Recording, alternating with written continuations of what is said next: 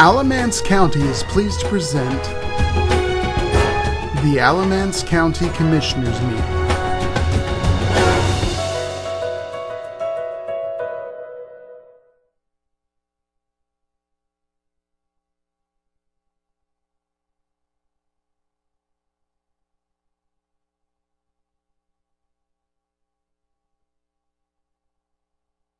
to the August 7th meeting of the Alamance County Commissioners. And uh, before we begin, I'm going to ask Mr. Lashley if he will do our invocation Be for us and pledge. Bow our heads. Gracious Heavenly Father, we pause at this time to honor you by thanking you for this day and all the many days in our lives. We ask for your guidance in the way we live our lives. We ask for your guidance in the way we conduct this business. And we ask you to give us strength to do the people's business. In your holy name we pray. Amen. I pledge allegiance to the flag of the United States of America and to the republic for which it stands, one nation, under God, indivisible, with liberty and justice for all. Thank you. And it's my understanding we have no public comments this morning. So we will move on to the approval of our agenda for this morning. So moved. Thank you, Bill. I'll second it. Thank you, Bob. All in favor? Aye. And in the consent agenda, is there anything that we need to look at or pull to discuss? Hearing none, uh, if okay, we'll, I'll ask for a motion to approve. So moved. Second. Okay, thank you, Bob. Thanks, Bill. All in favor? Aye. All right. Well, Mac, that was pretty quick. We'll get right to you, sir. That's fine. Well, we'll get right to it then. Thank you very much. Mac, how I'm you Mac doing? Williams. I'm doing fine. Thank you, sir. Uh, Commissioners, I'm Mac Williams with the local Chamber of Commerce and uh, happy to be here this morning uh, with some folks who are considering an investment in Alamance County.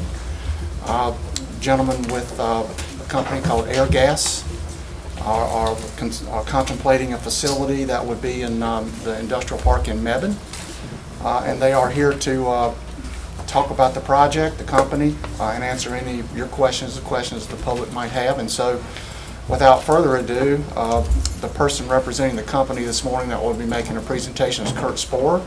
But with Kurt is Bill Donahue, Director of Tax, and their attorney, Bob Womble. Uh, So uh, that's the team that's representing the company here, and I'll turn it over to Kurt. If you want to come on up and uh, make a presentation. Thank you so much.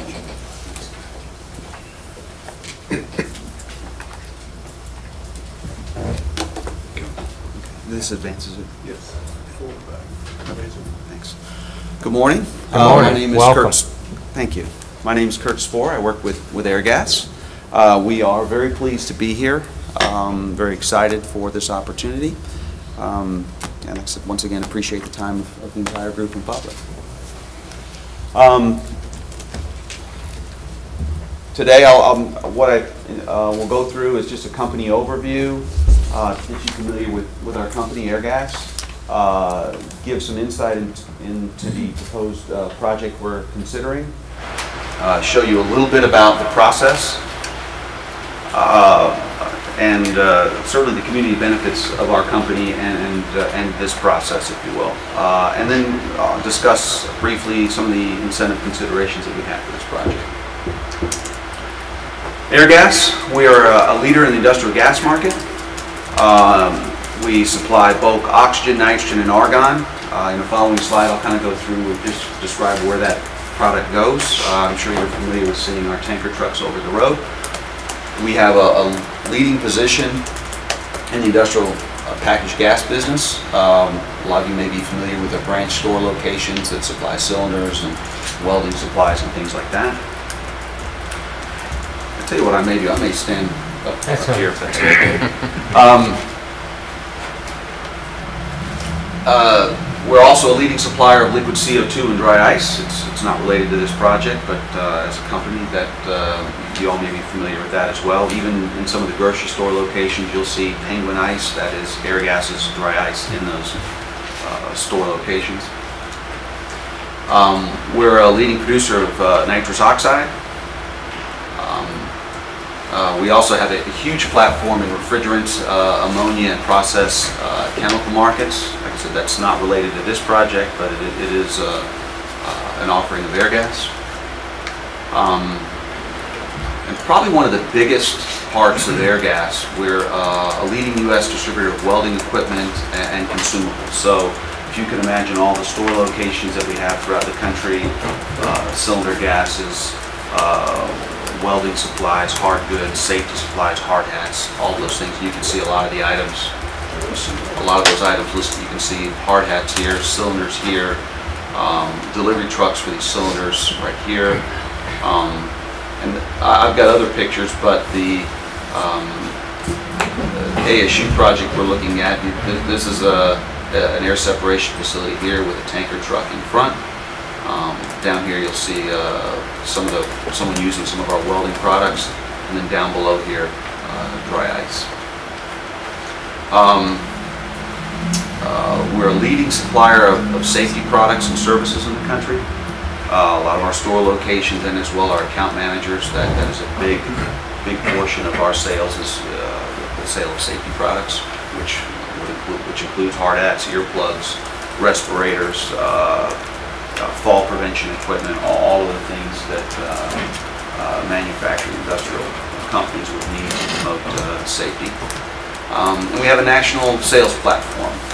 We are, I've got a- another slide that speaks to this, but we, we've got a national platform um, for sales, but it's, it's everything from telesales, we have uh, branch locations, um, and and e-business. So if you, you know, our our tagline has been, you'll find it with us, so if you, you know, airgas.com, you can go there, you can pretty much find anything in the industrial world that you need um, uh, uh, to support your business.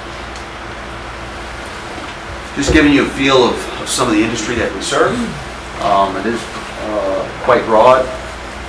We've uh, uh, obviously, uh, with with store locations, manufacturing and metal fabrications, just short of 30% of that business.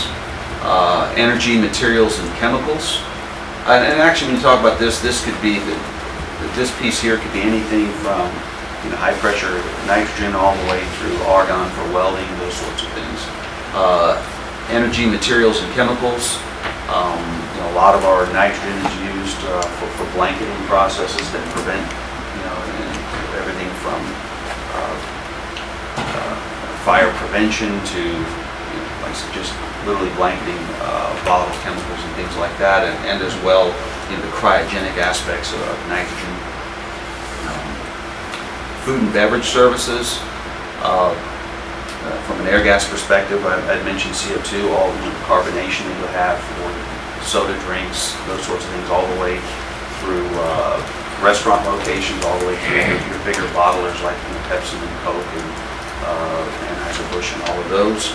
Um, In particular to products that we make here, even in the nitrogen is used even in that uh, uh, restaurant locations. uh, the Beer that folks will have, the beverages are pressurized, if you will, with nitrogen. Um, uh, On the food side, the food packaging side, nitrogen is used in packaging to keep products fresh, uh, and as well for uh, food freezing, cryogenic uh, freezing of frozen goods. Uh, Construction piece here, um, uh, and I'm I'm mostly speaking to the products that, or the applications of products that would be used for the particular type of plant process that we're putting in. Lot of these, like in, in in the construction services piece of this, a lot of, a lot of sales here will be uh, safety supplies for, for that industry and as well argon for welding. You've got a, a big piece here in life sciences and healthcare. You know, obviously the oxygen we produce at this facility here is used at healthcare facilities, uh, hospitals, um, and, and as well too, you know, liquid nitrogen being used for the cooling, freezing samples uh, for the healthcare industry. So quite a large exposure to uh, to life sciences and healthcare. And then government, uh, defense and aerospace, um, uh, particular to, I the ASU project we're considering, nitrogen is used, uh, and it's becoming more common now, is used in um, uh, got carbon fiber manufacture of wings and like you know, airplane wings and aerospace structures. Nitrogen's used in the curing process of, uh, of uh, that carbon fiber. So it's, uh, it's becoming quite prevalent as well. I mentioned before, uh, store locations, uh, hopefully a lot of you are familiar with, with uh, our store locations. We've got uh, 900 branches. You can see that uh, the Airgas is, as a company, we're, we're situated in four distinct regions, uh, southeast, north, uh, actually, uh, not four, we, we, yeah, um, four regions, southeast, north, midwest, and west. Um, We've got 900 branch locations, uh, so, and so hopefully you're somewhat familiar with that. We've got 344 cylinder fill locations where, um, I- you've seen one of the pictures, um, you're all probably quite familiar with that, but, uh, well, with the cylinders anyways, but we've got 344 locations for that.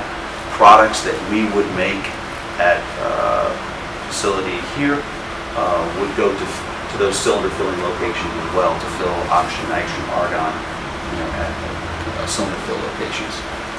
I've circled in red here, we've got 29 ASUs, you'll see that acronym used quite a lot. Uh, It's just an air separation unit. We've got 29 locations across the country. Uh, Those locations uh, produce uh, nitrogen, oxygen, and argon, liquid nitrogen, liquid oxygen, liquid argon, um, main constituent parts of air. Um, We have 19 acetylene plants, um, 15 CO2 production facilities. Uh, Say production, we're not really producing the CO2 there, we're taking someone else's off gas at those locations and- and uh, essentially reprocessing that off gas to to liquid CO2 and dry ice. Um, uh, 78 regional spec gas labs. Uh, These are are labs that uh, you can imagine all protocols for everything, environmental, everything, uh, lab-based. They're making special mixtures for, uh, to comply with uh, with uh, air emissions and and, evaluation of that. Uh, 13 national spec gas labs, and we've got six hard goods distribution centers, similar to the big distribution centers you see for, for other companies, where, you know, all of the supplies we've got for hard goods and safety will be received at these locations. Um, We have over 11 million cylinders uh, out, out throughout the country. We have 21,000 bulk tanks, and those bulk tanks, uh, I probably have a picture of it in another, uh, another slide, but uh, these are the bulk tanks that at a customer location uh, that, like, say, for example, when you go by a hospital, you see that large thermos bottle looking, that, that's a bulk tank. Uh, We have uh, 21,000 of those, uh, 6,000 vehicles, and 18,000 associates throughout the country. Um, Looking at our supply chain, um, once again, I've circled in red the piece that we're uh, speaking to today, the, uh, an air ga, or an air separation facility and its distribution. You can see that uh,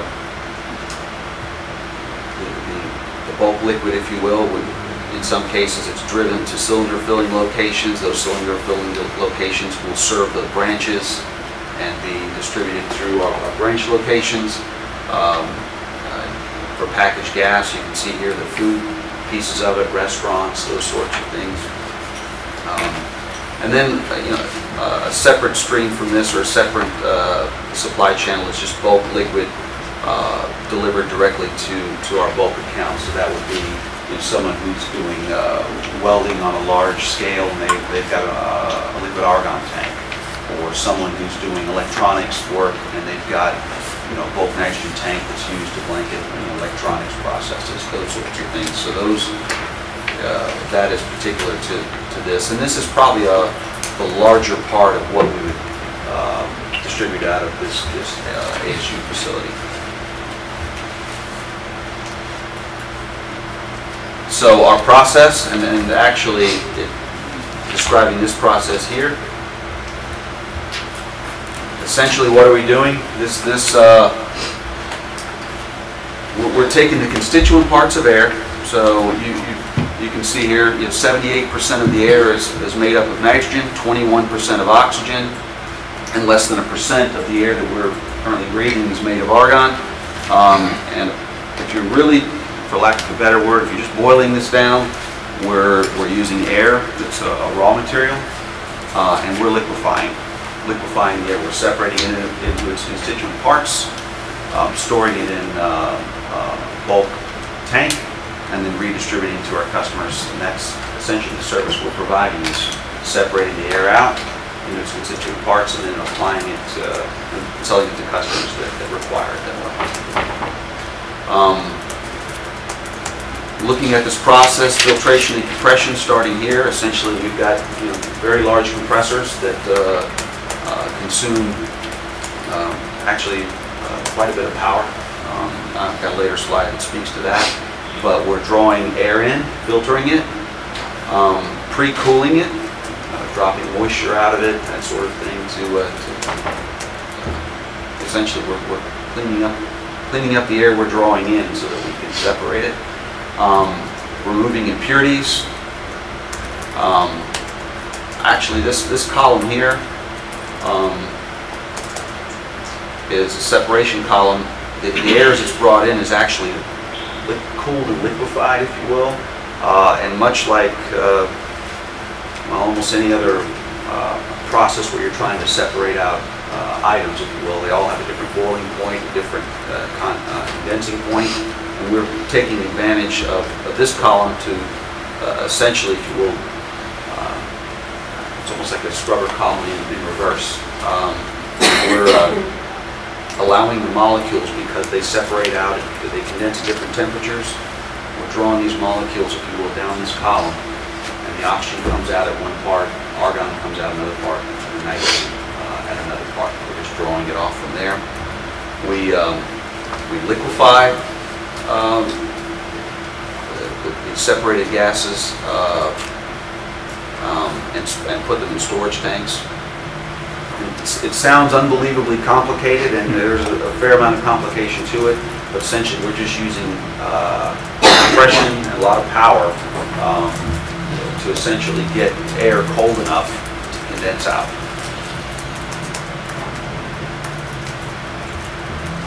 Some of the attributes of, of an ASU, it is environmentally friendly, it is, it's, it's our raw material is air. Uh, the- And the products that we produce are the pure constituent parts of that air. Um, Oxygen, nitrogen, and argon. Um, For us, it's a, it's a large capital investment, we disclosed in our, in our documentation. It's in the neighborhood of $47 million. A Large power consumer, uh, 12 megawatts. So uh, certainly the the Duke Energy folks will, be pleased for that. Um, And the- the other feature of that, the type of power that's consumed, it's, uh, um, it's a big power draw, but I I think just the way we can manage that power is attractive to uh, utilities as well. Um, uh, Be it the interruptible pieces of things to say, hey, come on and and off, if you will. And we have a lot of storage capacities in the tanks that allow us to do that.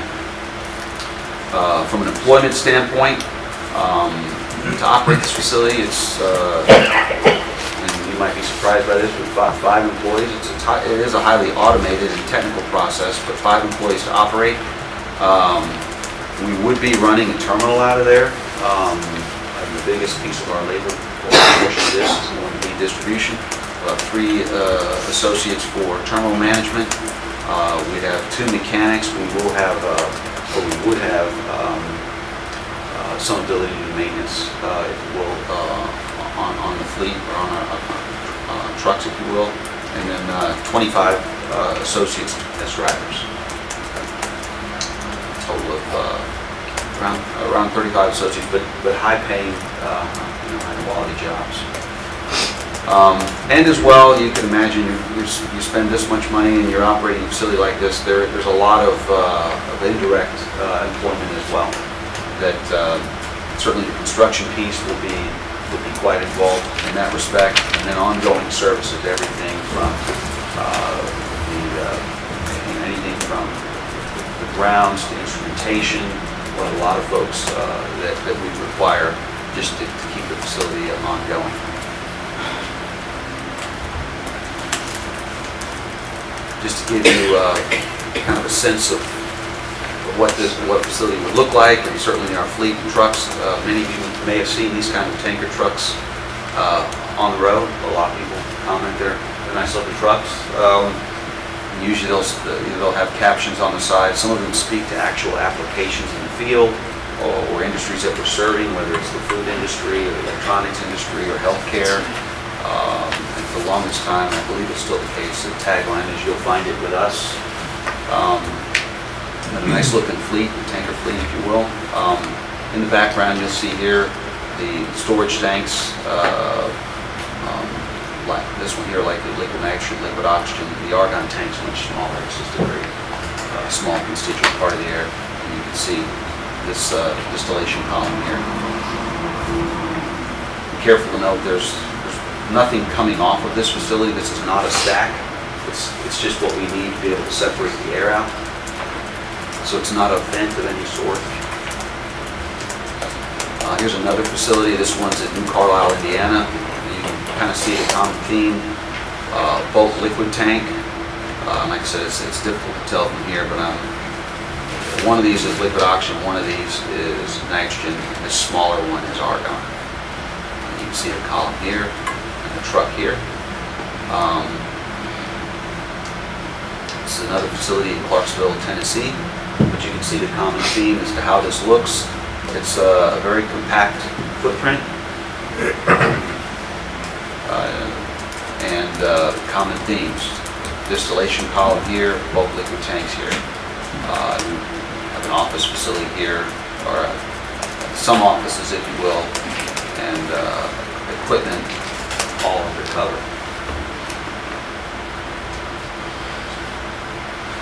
Some of the sites uh, we've been looking at in consideration from an Airgas perspective, uh, you know, this is a a big investment, it would be a big investment for us. Um, uh, North Carolina, we we perceive as a a growth market. Um, We have existing Airgas facilities not in North Carolina, um, uh, in in Virginia, in in Hopewell, Virginia area, um, uh, Rock Hill, South Carolina, uh, Jefferson, Georgia, which is northeast of Atlanta, and and Charleston. We have existing operations there. Um, In terms of, you know, opportunities or considerations that way, obviously, we could, you know, one of the considerations would just expand where we're at at our existing facilities from the standpoint of uh, incremental labor to operate that is is much less. We own land at those locations. Um, and we have existing operations already. Um, uh, Obviously, you know, there- is a facet of distribution, you say, hey, you know, that offset with, with being in the market you- you're in, so that's, it it is a consideration for us, or has been. Uh, And then as well, looking at new facilities in North Carolina, look, it's in and around the the peripheries of the Raleigh area, but you, um, you know, at at Wilson, North Carolina, um, have, we have some, uh, actually, uh, in- installation at this location already. Um, So, um, there's consideration there. Um, uh, Nevin, not over the last year, or so I've learned to pronounce that correctly. Very good. Um, uh, Sanford, uh, and Henderson, and you know, you kind of look, at this like northeast, west, and south, if you will, but um, these have all been considerations for us.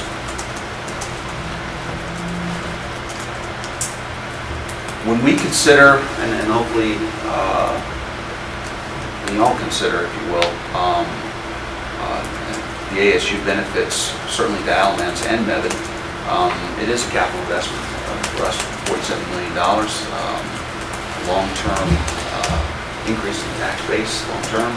Um, Additional merchant gas revenue. Uh, Obviously, we're going to be selling products out of here. Bulk liquid uh, tanker truckloads, if you will, um, oxygen, nitrogen, and argon. The uh, the installations that are uh, created at customer sites, the bulk tanks that go there, uh, also have uh, I'm asking you to install on that as well. Um, And this is, this next item, the amenity attraction to new industry. Um, uh, And this is actually quite a big consideration here. Um, Nation Auction Argon, they are considered a utility, and uh, other folks coming are considering to come to a given location. You know, we get asked many times by Chamber of Commerce folks uh, throughout the country, you know, can you provide this amount of of gaseous nitrogen? Or can you, you know, is it available in that area? Um, so it's, it's a big consideration and as well, any- and anyone considering uh, electronics work, quite a bit of uh, electronics uh, manufacturers uh, use uh, uh, nitrogen, and it's high purity nitrogen. The nitrogen, nitrogen that we would make at this, this facility here would be uh, 99.999% pure. Um, So it's, it's a high purity gas. Um, The health safety aspects of it, um, the, uh, the oxygen and nitrogen that we would produce at this facility would be medical grade. It's a nitrogen used uh, in surgical procedures, uh, oxygen obviously used in you know, hospital beds and things like that, so um, it's a, it's an important uh, piece of our offering, if you will, and really speaks to the purity and and, the process that we have in place there. Um, and, and food grade products as well. So the nitrogen that we make is, is food grade. Um, a lot of the packaged goods that you may find when you open the package, the first thing that probably escapes from that package is probably gaseous nitrogen, just to keep the food fresh. Uh, so um, certainly uh, uh, there is a, an innate benefit to, uh, to the community as well for a facility like this one. And once again, we we thank you for this opportunity and and your consideration. And if anybody has any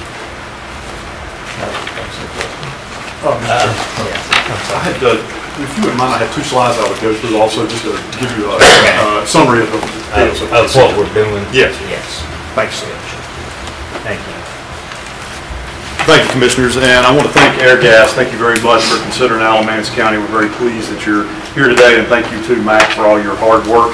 Um, It's on the, in this presentation, so.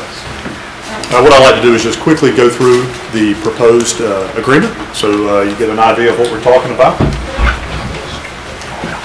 So uh, Airgas is proposing a capital investment in Alamance County of up to $47 million. $5 million of that would be in the facility, $42 million is uh, proposed to be in equipment, and the target date uh, is December of 2019.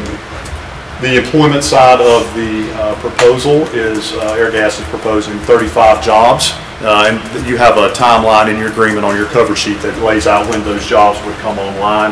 The average salary for those positions is uh, $78,750, and the annual payroll at the end of the project would be a little over $2.7 million. From the county's perspective, uh, our maximum grant uh, to Airgas would be uh, $470,000, which is about 1% of their investment. And we would make those, uh, if you approve, in $94,000 uh, payments annually for five years. And these grants would be contingent on uh, Airgas completing the capital investment and the um, job numbers. And that, that just gives you a summary of what the proposal is. So, Thank you. Okay, very good. First, we'll start commissioners and have any comments and we'll direct them back to. All right, I have a couple of questions. Okay. Um, First of all, I um, spent five years as a respiratory therapist and 35 years in hospital administration, so I'm well familiar with your name anyways. And, um, but I was wondering what your competition is and how financially stable is the company, just from the perspective that you're here to stay for a long time after we do this investment? Uh, From a competitive standpoint, um, uh, Airgas, uh, actually, in this past year was actually purchased by Air Liquide, um, and actually is the world's largest producer of uh, industrial gases.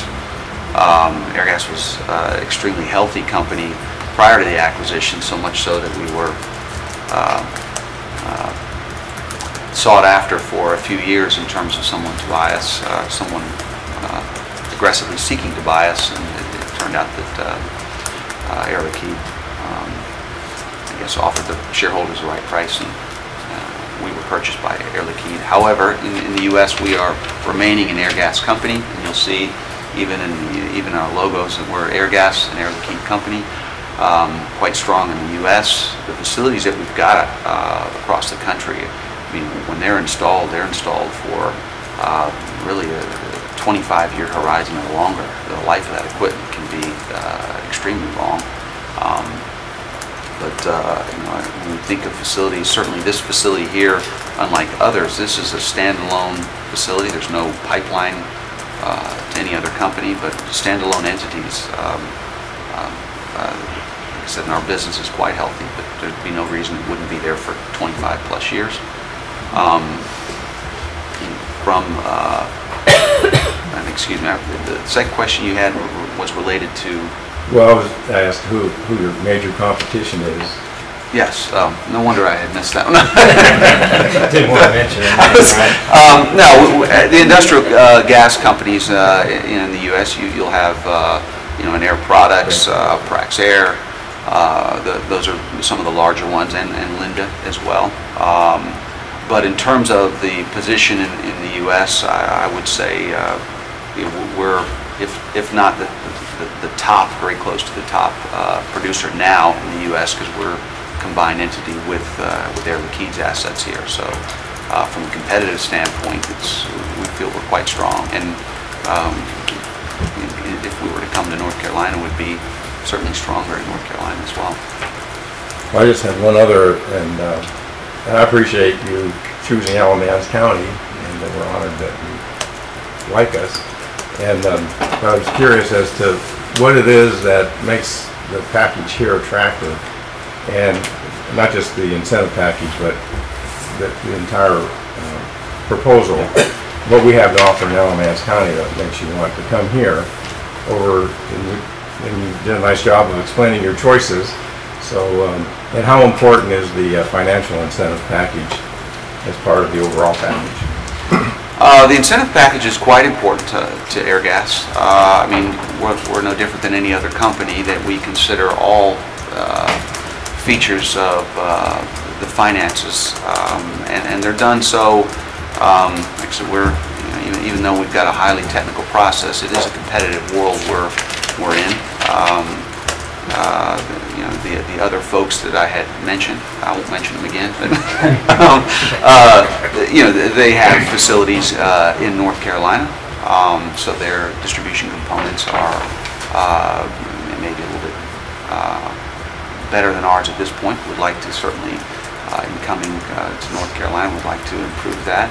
Um, So certainly, um, everything from the tax incentives to um, good folks to hire, um, um, the the locations, all of it are are quite important.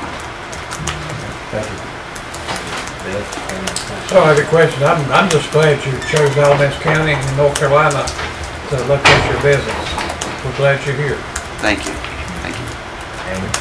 Yeah, I just had a couple of things. Um, for one, you mentioned in your presentation that there's no vent and it's an environmentally friendly process, and so there's no hazard or uh, hazardous waste products that we need to be concerned about. That's, is that correct? That is correct, that is correct. Good, and then, um, the twenty-five drivers in particular your employees, the, um, fifty employees that you're committing to hire, are those all full-time with benefits? or any of the- Full-time with benefits, drivers included? drivers included. Very nice. That's it. Okay. I hope they live in Alamance I don't know, County. we're so hoping they- they'll Yeah. decide to move here also, right. should this work. Um, I had, how many loads out per day do you anticipate? Um, probably, um, uh, 20 to 30. 20 to 30 20 to 30. trips coming out of Trips there coming each out. day? Because, as you're aware, that is somewhat congested. They're working on that very quickly around Trolley. Yeah, that's a consideration for us as well. is, But uh, it how is that will a look. great access to the interstates, I'm sure you've seen. Yes, it's, to the interstate, it's, it's a nice, So one nine, one nineteen is getting, uh, one nineteen bypass is now funded and under construction. Okay, so, yeah, that's true. So that, that was just a question because there's a lot of congestion there. Uh, Now, your home corporation's in Pennsylvania, is that correct? correct, Ra- Radnor, Pennsylvania. And you had said there are options if you went elsewhere to expand. Is that something you would be getting enough land at this facility to expand in the future, say?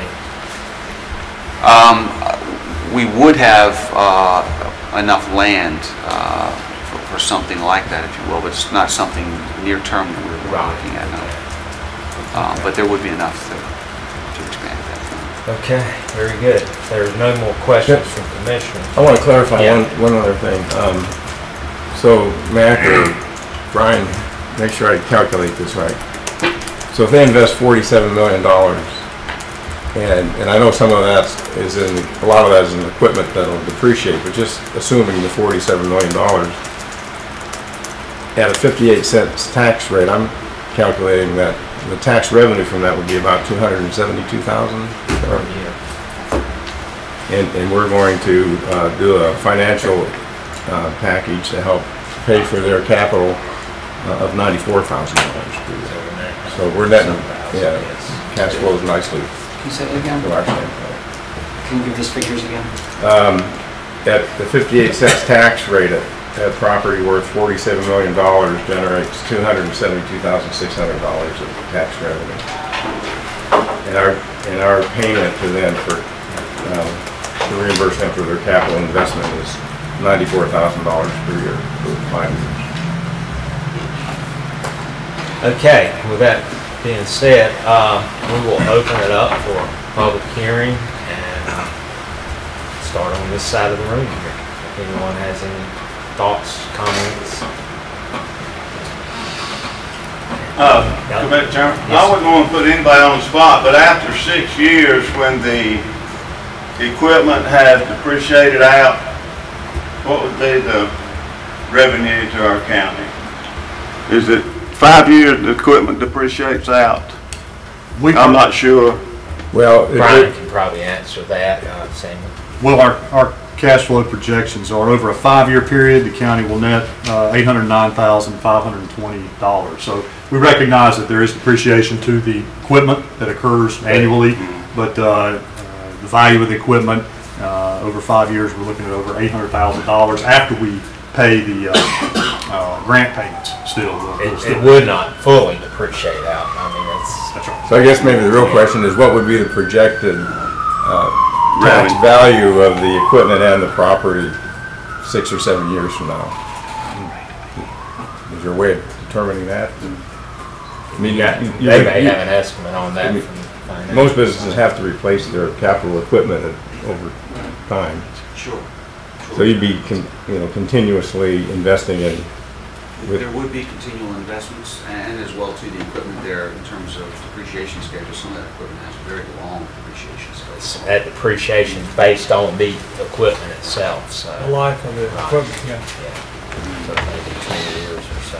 Thank you. Okay. Any other comments? Yes, sir, come up. here. Tell us what salmon's doing today.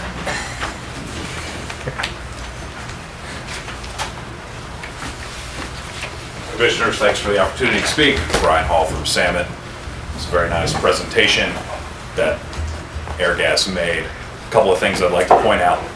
The pie chart of his target markets. On that pie chart were some of the same things that we pursue. Food and beverage, manufacturing, aerospace, life sciences.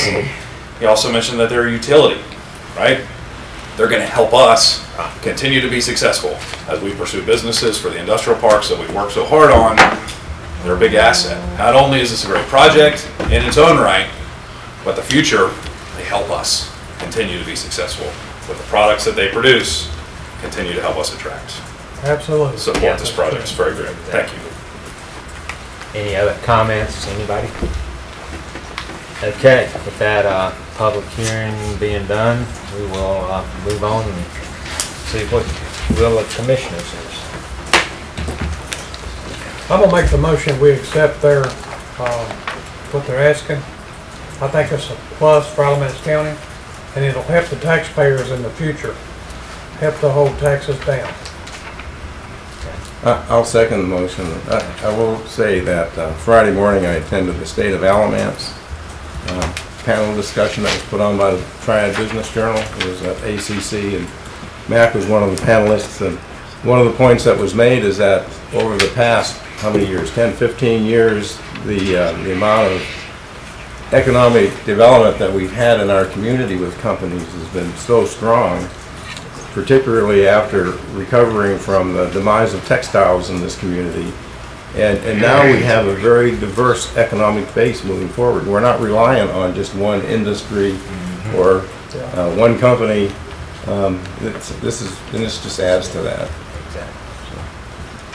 That was the second.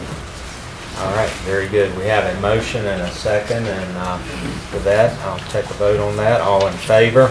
Aye. Hearing no opposition, so thank you very much for coming today, and we appreciate it. Thank you, Commissioner. And we recognize your time was valuable, so you guys can move on. As your- Thank you so much. Thank you. Thank you.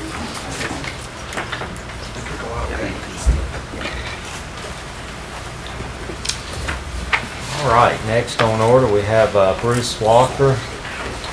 And uh, he has a presentation to tell us about. Come on up here, Greg. Um, uh, NCLGISA is a North Carolina organization of IT folks. Um, it's uh, they have thousands of members, and um, their highest award is called the James S. Cooper Ambassador Award. Um, the spirit of it is recognize the individual or agency that provides service above and beyond the normal performance of duties regard interagency cooperation. And so this is a really big award for those in our field. And Greg Slagle was a surprise winner this year. We didn't even know we were nominated. um, Davidson County nominated us, uh, the CIO from, the, from them. Um, they had come over to see DSS. So what, what this tool does that Greg has developed is um, assist in the DSS and the management Medicare transports and the billing data. And they came over and they were looking over the shoulder of the tool that he created, and they're like, "What is that? That's amazing! That's so quick! How do we get this done? Um, we got to have it." So, you know, Greg came to me and said, "Hey, can we give it to him?" And I said, "Sure, as long as legal says it's okay." Um, and they did, and uh, so that was it. But then at NCLGISA, we found out we were nominated, and they voted on it and we won. So um, Greg Slagle has been here 22 years. This isn't the first time he does something really efficient. It saves county money. He's constantly looking at that. Um, he's been here in the dark times. He's been here in the good times. Um, you know, it gives me just great pleasure that he deserves this award. Um, he's been three times given the SOAR Award. Uh, like I said, he's constantly working on these things. Whenever there's a disaster, he's the first one to volunteer to be the IT guy. Um, he's also our ham operator in an emergency. I mean, he just constantly, always is there. And he's in behind the scenes, and he's very uncomfortable sitting up here and getting a lot of accolades, but he's well, well deserving and is a good example of some of the employees we have here at Alamance County. So I just wanted to give this to you again. Greg Slagle.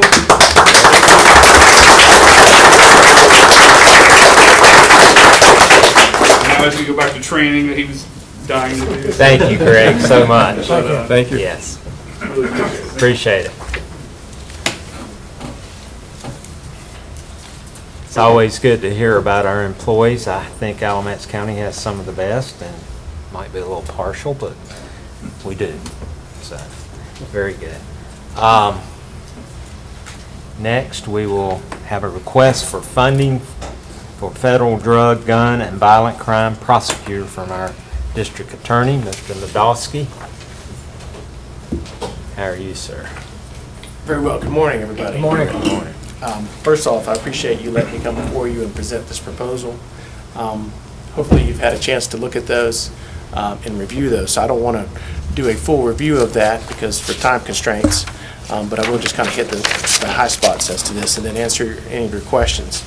Um, I also have Sheriff Terry Johnson here who can give a law enforcement perspective to this as well, but I'll just leave it to you as whether or not you would like to hear that um, because of possible time constraints. Just, so just some backgrounds, this is a position that will be um, funded for federal prosecutor- prosecutorial work at both the federal and state level. Um, This is a grant that we had in the past, um, back in 2011, um, through a Governor's Crime Commission grant. It unfortunately ended in 2015, and and there was no longer any funding for it. Um, And since it's, um, since it was terminated, I have spent my time trying to find a way to get it back in place because it had a significant impact on our ability to prosecute criminal cases. Um, So I'm just going to tell you what it does. Um, What it allows us to do is take those people that are problem people for our law enforcement entities, people that are having a significant impact on our communities from a public safety standpoint. Um, And when we take them up federally, we get significantly more prison sentences for them. For example, if you're convicted at the state level for possession of firearm by a fel- felon, you might get one to two years. However, if that's taken at the federal level, depending on the record, um, you're, you're going to right off the, right from the beginning, you're going to get at least a significantly more sentence, five-year range, but if they're a career criminal, you can get up to 20 years. And we've had those types of cases where we've been able to get someone 20 years for a firearm. What is the impact of that? The impact is that we're getting them off our streets. And when I go back to talking to you about these people are problem um, criminals for law enforcement, public safety, um, they are people that need to be taken off the streets. Um, And when this happens, it has an impact not just on public safety, which is very important, but it also has an impact on resources. Um, For instance, if we're able to take someone off the street for a significant amount of time, that means every day that they spend in prison is another day that they cannot commit crimes in Alamance County. Um, And I can give you some examples. Um, In your packet, you will see some examples that we gave you of of people that we were able to prosecute um, through the the prior grant. And Clayton Paul was a man that um, I know that the sheriff's department is very aware of and kno- knowledgeable of. Um, But from, from the beginning, he committed crime after crime after crime of domestic violence, um, larcenies. Um, I don't think it- a week could go by where you did not see him in court. But it was, it was, and there was smaller crimes, so we never actually got significant sentences on him, but I can tell you, he was a problem for law enforcement, um, because they constantly had to investigate his cases. Um, But in the recent, back in 2013, we actually did get him with a firearm. He was a convicted felon. Um, He had severely beaten his girlfriend. Um, And based on that, we were able to get him a 10-year sentence at the federal level, um, as well as a three-year, three-year sentence at the state level for a total of 13 years in prison. So that is 13 years that Clayton Paul is not going to be bothering anybody. He's not going to be committing acts of domestic violence. He's not going to be committing acts of larceny. Um, But he was a significant recidivist um, throughout the time, uh, which, which went from the time he was 16 and persisted into his late 30s. And so he was, that's the, that's the type of person that we're looking at. Um, I can also say that when, and to talk about these efficiencies, the big impact is, is because these people are significant, um, has significant rec- recidivism and are committing types of cases where they're committing acts of violence on our public, um, what, what it ends up happening is if we can get them off the street, that can prevent significantly, significant crimes from even occurring. So I'll give you an example. If we take somebody off the street, that means they can't commit a murder. And how's that an efficiency? Because when you have a murder case happen, and the sheriff can tell you this, it, it requires a massive amount of resources from law enforcement when they investigate that. It is, it is the entire department investing in that case, and it takes thousands and thousands of man-hours to do that. So, if we're able to save and, and make efficiencies on that, that means that they can put their time towards other things, whether it be the public outreach, larcenies, the other, other crimes are still occurring out there, if that makes sense. So it is, is it, it is an efficiency and it is a savings in money from that standpoint. And I dare say that it would be, I think it will pay for itself from that standpoint. It's hard to put a, a money value on that, but you can see how that will work. Um, This is something that we have already gotten funding from all the other major contributors. Graham, um, Burlington. Mebane, we have not had to go before the city council, but we are going to be get- getting that funding. It's just not going to have to go before the city council. Um, So this is the last stop for us. I mean, if we get the okay here today, then we can move forward with this program. Um, And it's, it has, it's going to have a significant impact. Why do I say that? Because I know it does, because we've had it before. And ever since we've lost it, um, we've lost a tool in our toolbox to use um, in trying to make Alamance County safe. Um, With that being said, I want to, I certainly want, to if you wanted to hear from uh, the sheriff, I will give him an opportunity if you want to hear from him, um, and also answer any questions I'm at your behest. Let me ask you a question. On guns, dude, when, when you find somebody with a gun, if they commit a crime with the gun, and Burlington's having so many armed robberies in the last couple of years, it's unbelievable what's going on in, in Burlington, in the city of Burlington. Somebody needs to do something with those, with the law enforcement in Burlington, let them know they got a problem. Apparently, they don't know it. When you uh, find somebody's, if you, if you, if they arrest somebody that committing a crime with the gun, do you, do we have as a state where they can be charged for five years for having that gun? At the state level? Yeah. No, not for just having the gun. So just kind of to tell you how this works.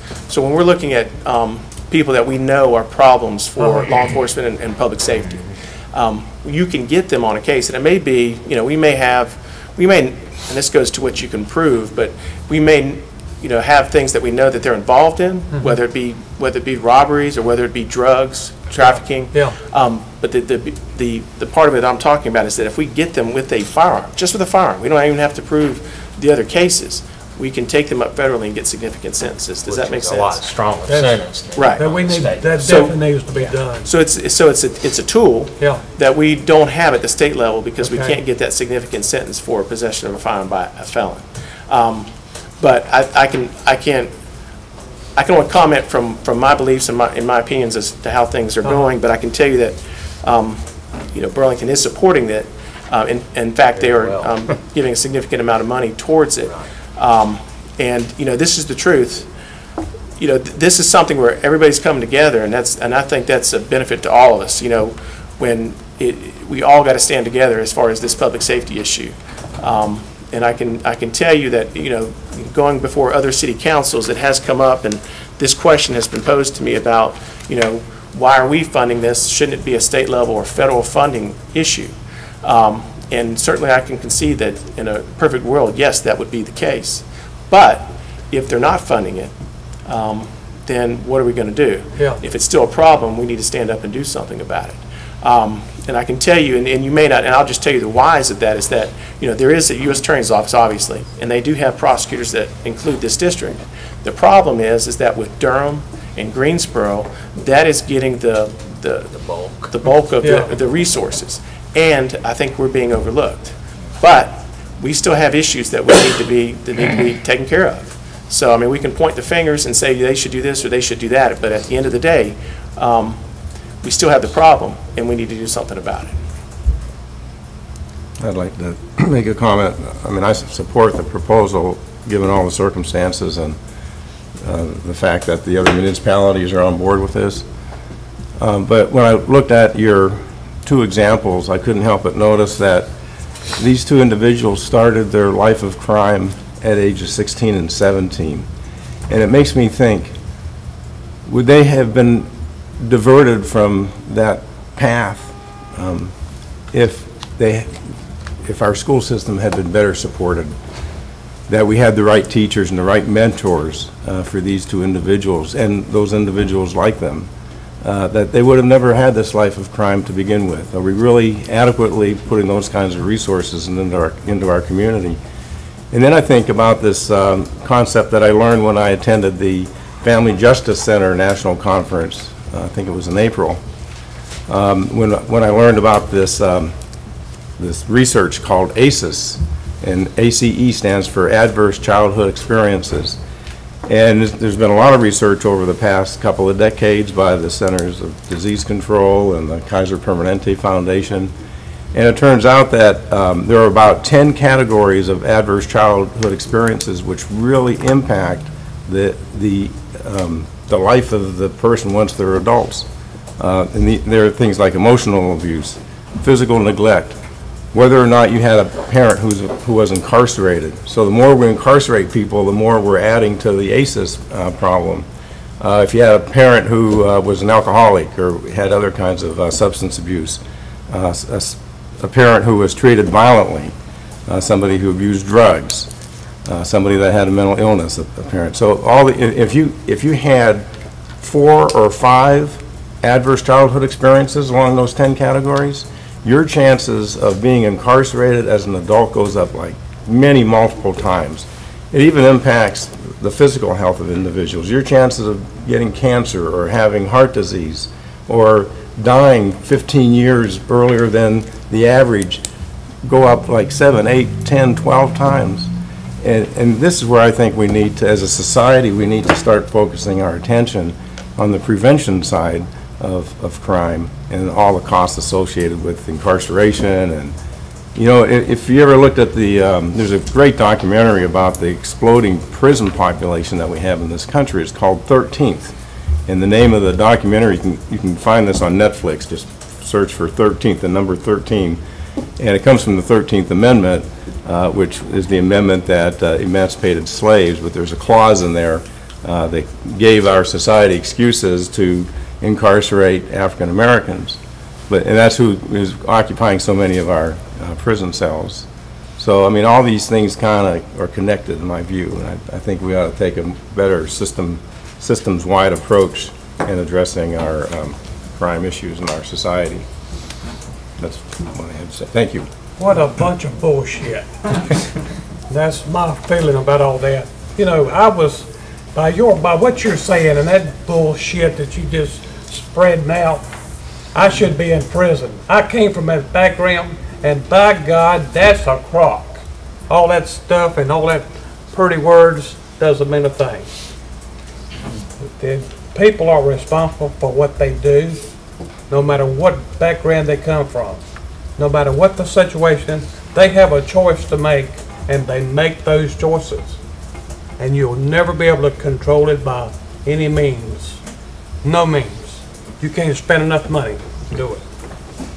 Well, um, I, uh, agree with the spirit, but maybe not the, the, the verbalization of what Mr. Lashley is saying. Um, yeah, I've worked as a criminal defense, briefly, worked as a criminal defense attorney. I've known my share of criminals, and some of them are people who've been caught in a web of poverty and are really struggling to find their way out, and it's a bad path. Once you get on it, it's a very difficult thing to overcome a felony conviction, and it's very important to try to intervene with uh, young people when we can. But Mr. Lashley is right that there are a lot of people who've come through very difficult childhood circumstances and have made different choices, and I think that um, the uh, the, this, uh, the fellow that Mr. Nadolski referred to, who had beat up, a long history of domestic violence that culminated in a federal firearms charge and being locked up for a long time.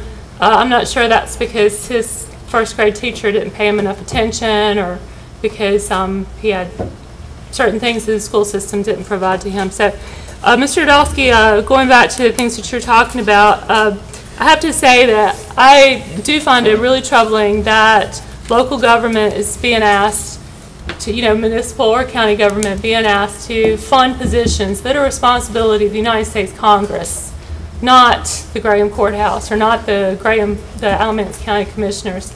And it's just a sad reflection on uh, what's been happening in our federal government for 20 years.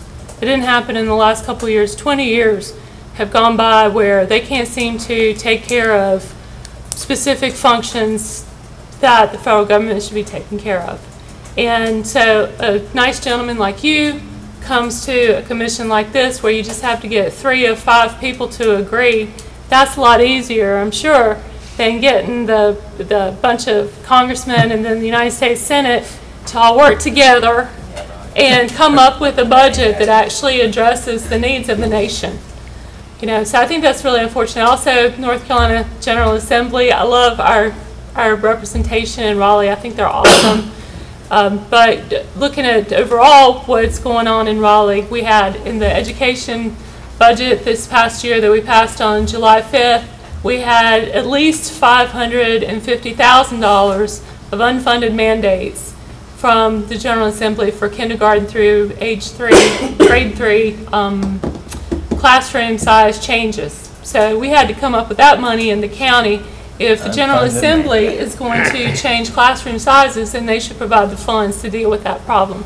So this is just another part of that whole syndrome. And I'd be really reluctant in the future to continue on this kind of path where at some point, you know, we got to do a better job of lobbying our uh, upstream elected officials. You know, so, but um, the other thing I wanted to ask you about was uh, some specific issues that are troubling people right now are these gangs. The gang activity seems to be getting more and more atrocious and more and more just vicious. And the, uh, the not sort of traditional gang activity of just brutalizing people because it's business, but they seem to take a fresh pleasure in it. Um, how is having a federal prosecutor funded by Alamance County help, going to help us with fighting gangs, helping us with fighting human trafficking? A lot of people are very concerned about that. And als- also the horrible opioid epidemic that's sweeping this county. I understand that we've had how many people in Alamance County die is as of August 7th. It's been like 13, 14 people in Alamance County have died. How many have had to have the Narcan administer them? Like 270, is that right? 230 people have had to have Nar- save their lives at this point in the year through the administration of Narcan. How can we um, look to this uh, federal drug gun and violent crimes prosecutor as being in a position that will help our citizens to see that we're addressing things, that we're addressing these really serious and significant problems? Yes, ma'am. But I do want to comment on, on the, the first question in reference to the, the funding of this and where it should properly come from. I do understand your points, and I think they're valid. Um, But I just want to reemphasize that um, there are going to be efficiencies that will save money, significant. And when you look at the fact that all the county, or not the, the county and municipalities are coming together, um, and we're doing it from a, a share of violent crime, um, that does make the, the, the amount lower. Um, and it's, it's something, I- again, I just want to emphasize this, this is something that we need, um, and it's something that is going to have a great impact. Um, Now, as to your other questions with respect to how is it going to have effect on gang violence, human trafficking, the opioid epidemic. Um, Gangs are the very people that we're talking about here. These are the people that are the repeat offenders. These are the people that are having a significant impact on, on our communities from the public safety issue. So when you talk about gangs, those are the types of people that we're going to be wanting to get off the street for significant amounts of time because of the, the carnage that they are leaving. Um, gangs oftentimes do, um, because they're violent, the violent gangs are going to have firearms, and so we're going to be able to use it as a tool um, to prosecute them.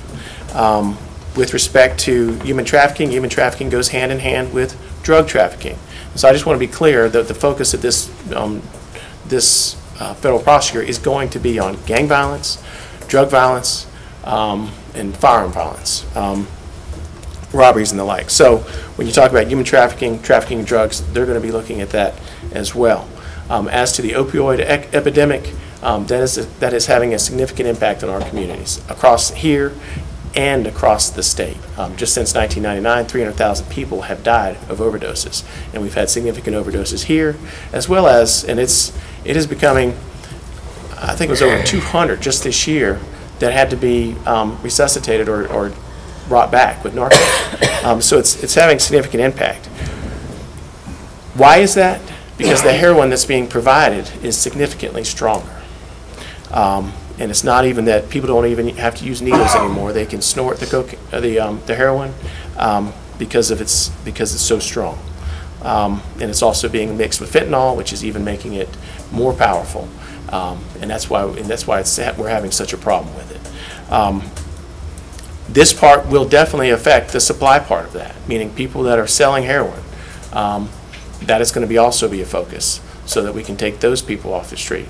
Um, And that will have, that will have an impact. But I, I'm going to have to just tell you that the opioid epidemic also has to be attacked from the demand side. And so that's, that's going to be more community-based efforts to get people off heroin, to give them other opportunities. And that's a, that's a tough, that's a tough job. But I can tell you, at the, even at the federal level, as, as, as messed up as that is, they are, there is going to be a significant amount of funding that's coming out because of the opioid um, epidemic, both at, and both, also at the state level.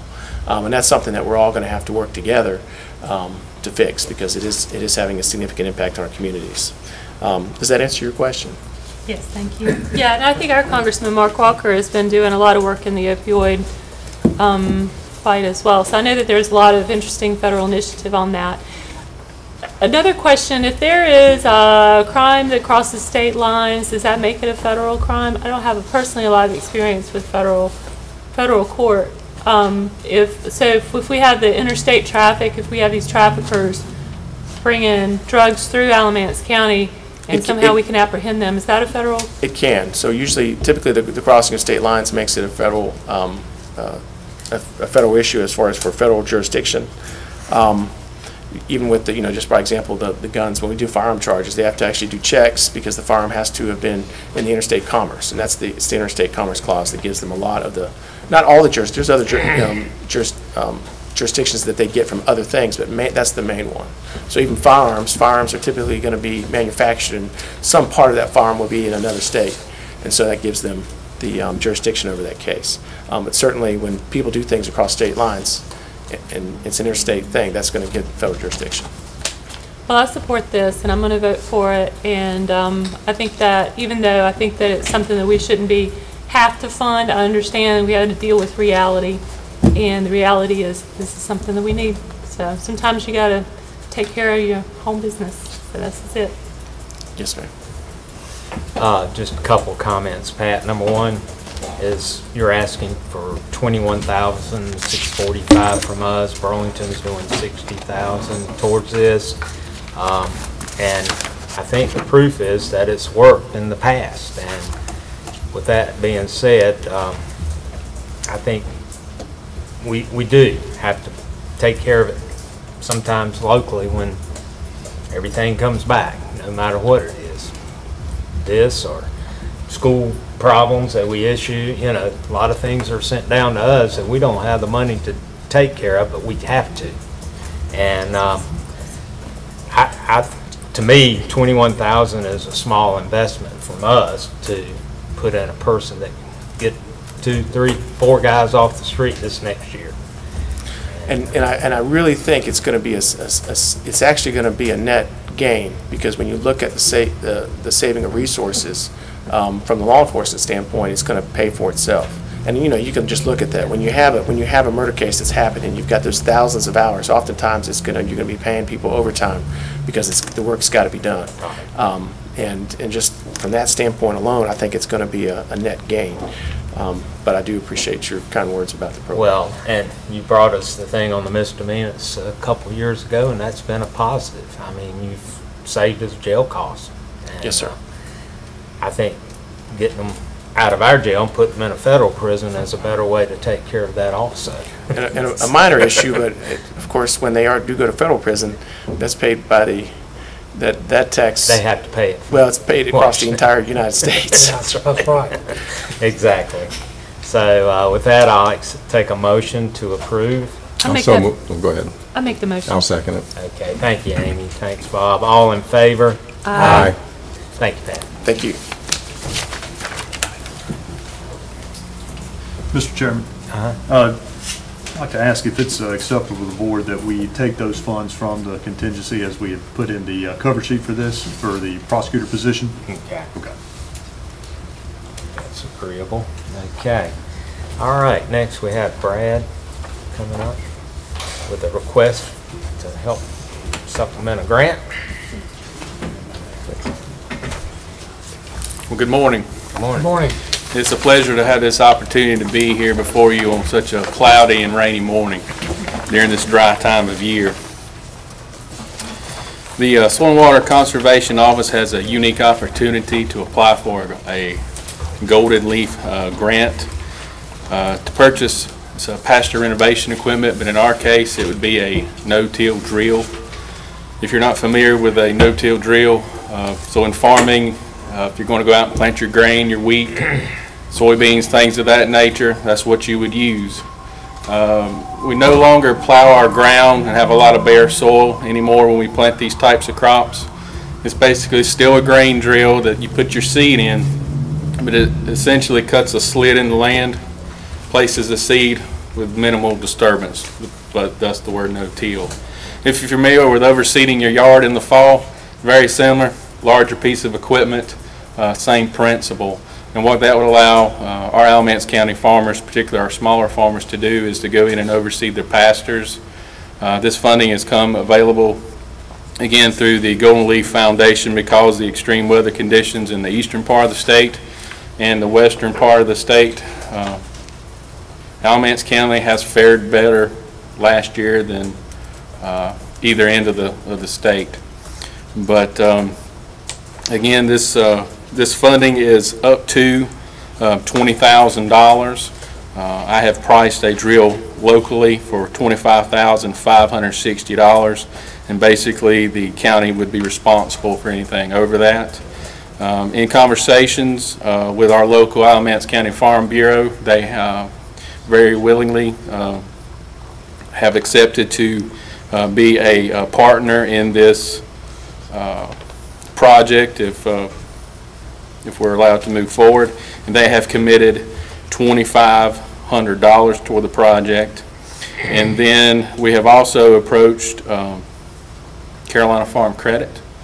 And that's what I- I've just handed you in the memo. Um, I actually just learned about that very recently. In order to uh, seek assistance from them, they have a corporate mission fund that, uh, again, it's an application process that we would ask them for $2,500 as well. So basically what I have um, there before you is the cost of the drill and a small storage shed uh, would be around $26,715. With the assistance from Farm Bureau that is committed, uh, again, assuming that we get the Golden Leaf grant, the county would have uh, estimated $4,215 in this project. If Carolina Farm Credit, if we awarded their grant as well, the county would have about uh, $1,715 in the project. If awarded the grant, Alamance County does not actually purchase the drill ourselves. It is gone through the uh, North Carolina Foundation of Soil and Water Conservation. They are a nonprofit. They would purchase the drill, then give it to us. Uh, Because they didn't know the exact terms at the time when this is drawn up, it could very well, the $1,620 tax could also be removed. And if that is the case, the county would have approximately an estimated $95 in this project. It's getting better, keep talking. So although there are many ifs, I stand here before you today to ask permission to pursue pursue this grant as well as the grant with uh, Carolina Farm Credit. Where will you store this? Been speaking with Brian as well as uh, Emergency Management, and we would think uh, possibly uh, uh, one of the locations with them in a locked uh, facility. Okay, very good. And Questions, anyone, or thoughts? I've heard this, not partic, this particular project, but a like project talked about a lot with the uh, Food Collaborative of Healthy Alamance, and it sounds like a really good idea. Yeah.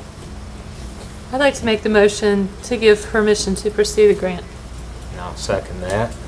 All in favor? Aye. Very good. Thank you.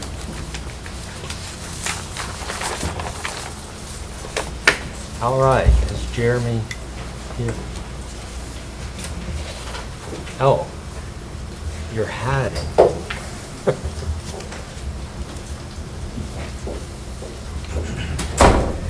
Good morning. Good morning. Morning. Thank you for having me here today. It is my annual settlement. Get myself situated. There are a few places where I traditionally will read from the sheet in front of me. I'll try to make it as dramatic as possible when I'm doing my reading. Add a little to this presentation. There are three items of business uh, for me this morning, and one is the settlement of taxes. Another is the writing off of the 2007 taxes. And the last is the uh, charge to go out and collect the current taxes. As regards the settlement, the tax collector is required by the North Carolina General Statutes to give an annual settlement to the governing body. It's the intent of the Machinery Act to create a direct relationship of responsibility and accountability between the tax collector and the governing body. The governing body charges the tax collector and no one else with the personal responsibility for collecting taxes. The annual statement of the tax collector is based upon this responsibility. This is something I'm aware of every day.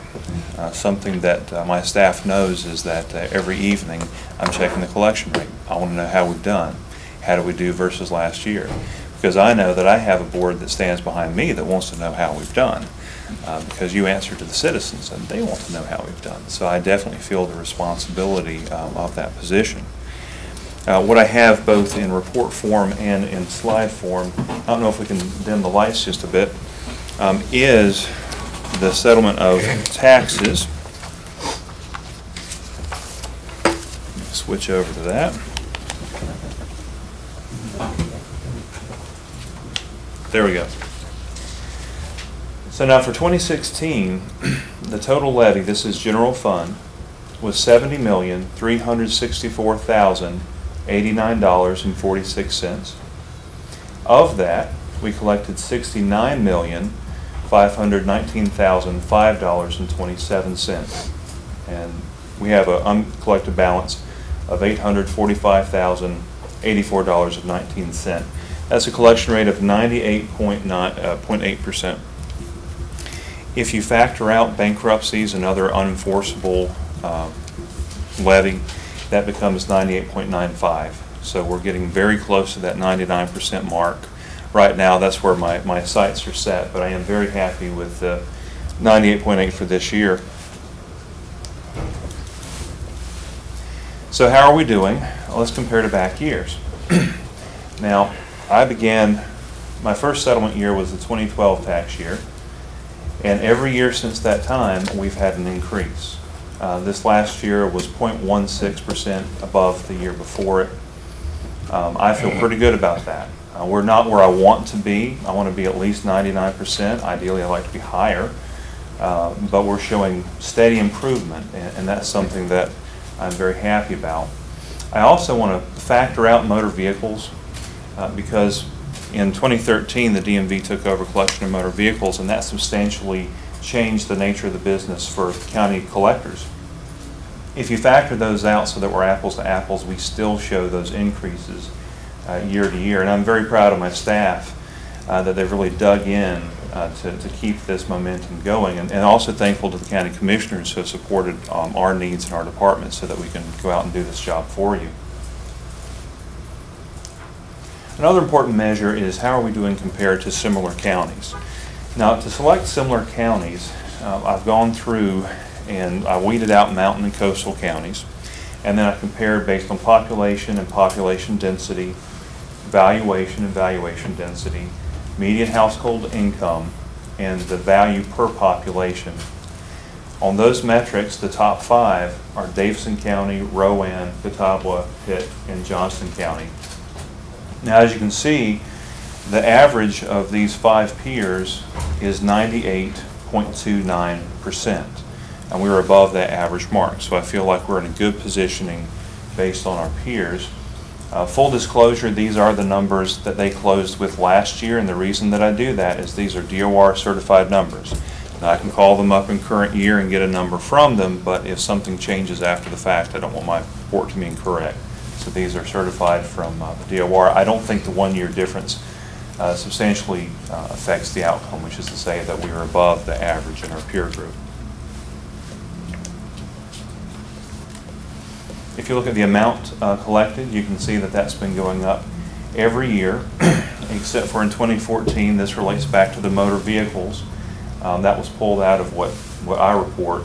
Um, We went from billing in arrears to billing ahead, and so when that happened, we had a little shuffle in that one year.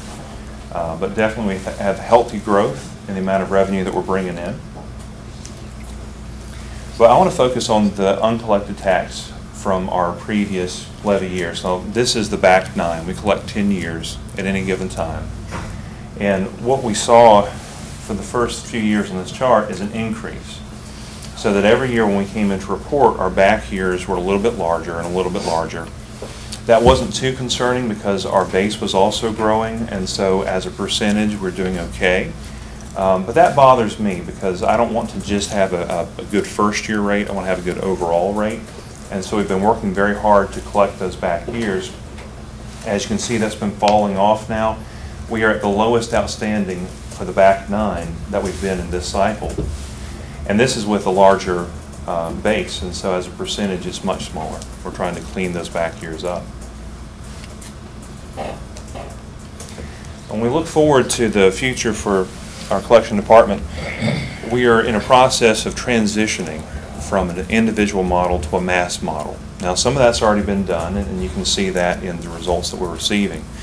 Uh, Briefly, the difference between an individual model and a mass model, individually, let's say Mr. Jones owes taxes and has not paid timely, and, you know, we notify Mr. Jones and we're not going to get payment, so we're going to have to garnish.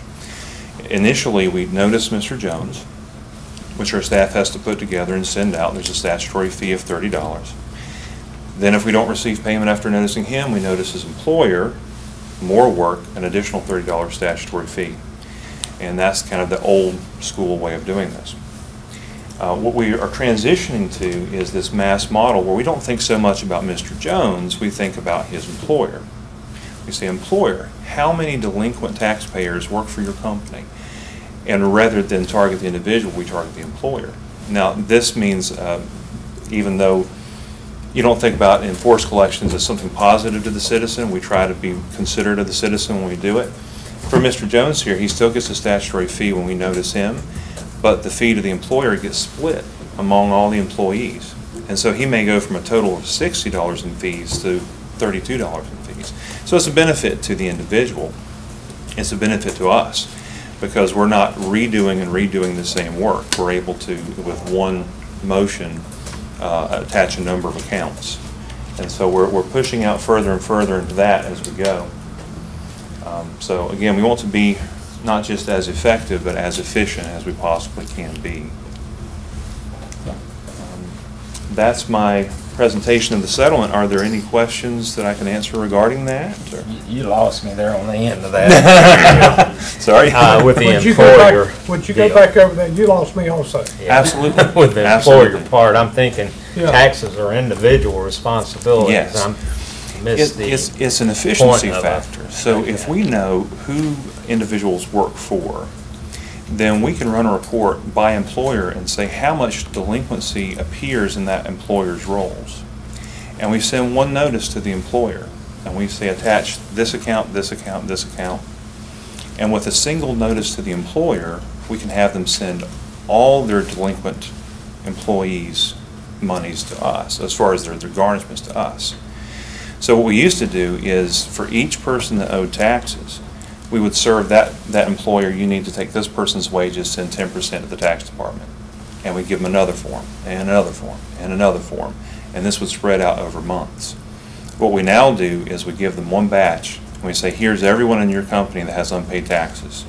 We want all of them. And we do it with one notice. This is a savings to the individuals, because we get to split that notice fee. It's a savings on our time. Um, And it's actually, I I believe, easier for the employer, because rather than the trickling through constantly, they get the, the report up front, and then we're done. How do you make that correlation between a taxpayer and the company works for? Mhm. So we're constantly searching for employers. Now, we do have some sources such as Accurint, provided by LexisNexis, that we can get information from. We also contact employers and ask for lists of their employees, and we work on matching those back.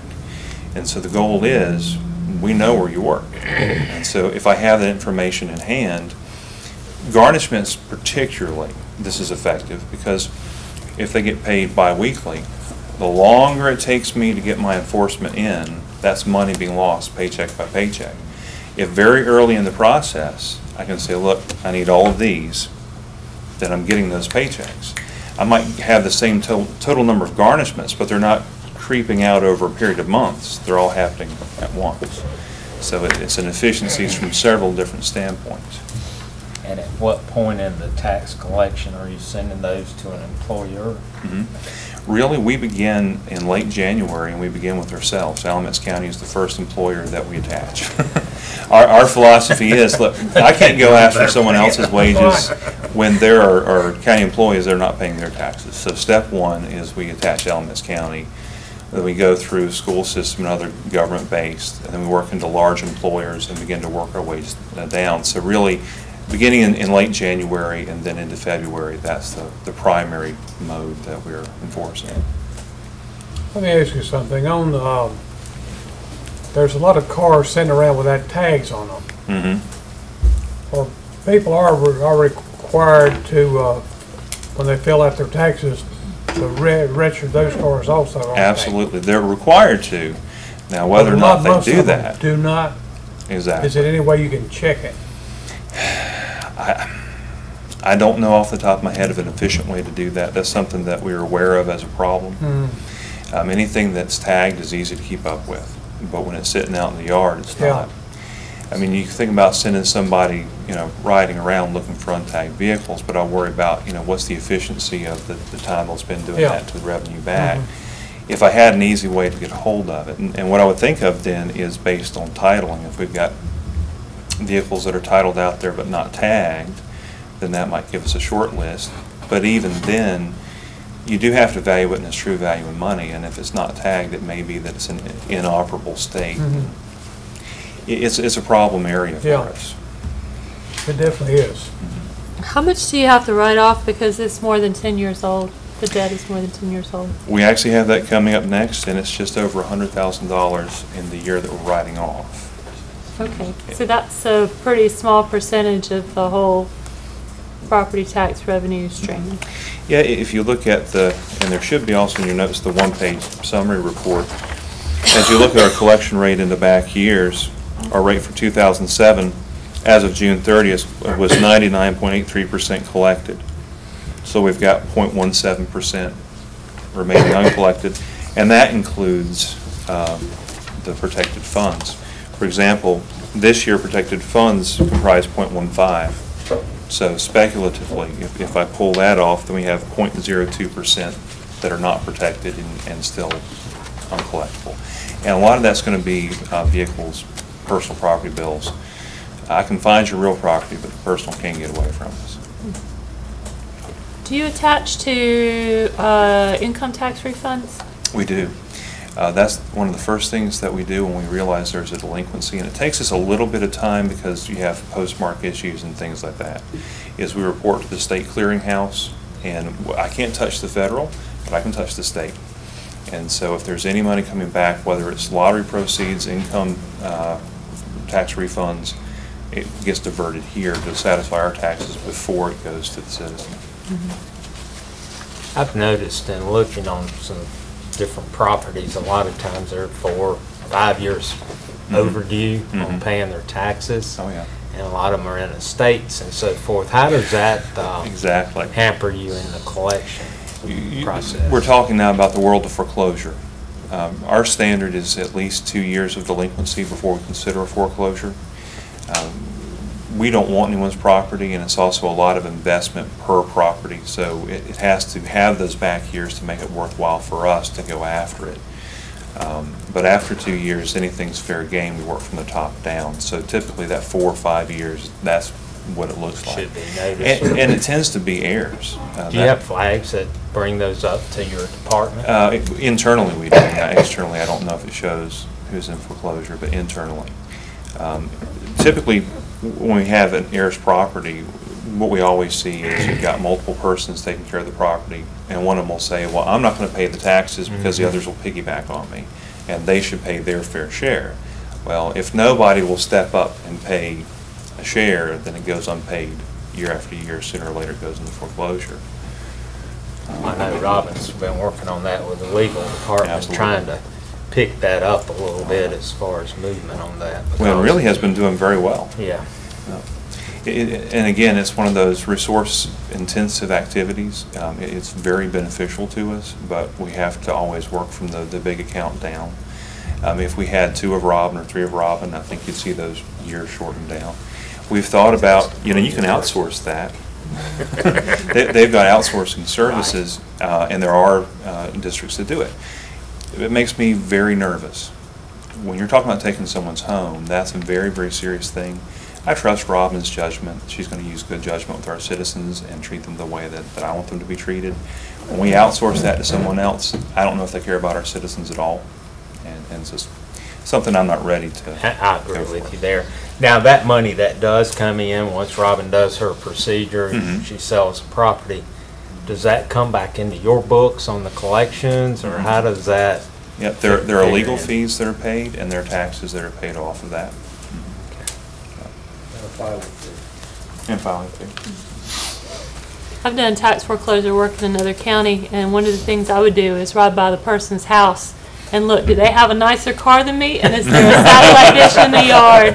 If there is, That was is, the determinant, they gonna pay their taxes, cause I pay mine. Mhm. So, yeah, it's, uh, but you know, sometimes people really need, that, I appreciate that, you know, Alamance County has a, a willingness to work with people who are in hard times. And I think in the end, anybody. that brings money in Mhm. by doing that. Um, So today, you're basically just asking us to receive your annual statement, is that correct? Receive the annual statement, absolutely. You need a motion for this order of collection. For the order of, colle- yeah, we'll need a motion for the order of collections. Uh, and also we need to have a board resolution to write off the So we uncollected taxes. Three votes, is that correct? Uh, not, not to receive it, uh, but just for the, the write-off. So, and, and just in, in brief, the reason we write off is that there's a ten-year statute of limitations on our enforcement powers. As of uh, September first, two thousand seven taxes will be outside of that, and at that point, we can make phone calls and send letters, but that's all we've got, so it's an appropriate time to write that off. I'll make that motion. All right, thank you, Bill. A second. Thank you, Amy. All in favor? Aye. And then the, uh, Yeah, the third piece is the order of tax collection. Charge-off, yeah. And it charges the tax collector uh, with going out and collecting the taxes. Um, And I'll, I'll try to do my dramatic reading quickly. Uh, You're hereby authorized, empowered, and commanded to collect the taxes set forth in the tax records filed in the Office of Tax Administrator and the tax receipts herewith delivered to you, and the amounts from the taxpayers likewise therein set forth pursuant North Carolina General Statutes 105-321. Such tax is hereby declared to be first lien upon all real property of the respective taxpayers of the County of Alamance. This order shall be full and sufficient authority to direct, require, and enable you to levy on and sell any real or personal property of such taxpayers for and on account thereof in accordance with law. Further authorized, call upon the sheriff to levy and sell any real or personal property. I'll make a motion that we accept that. I'll second. Thank you, Bill. All in favor?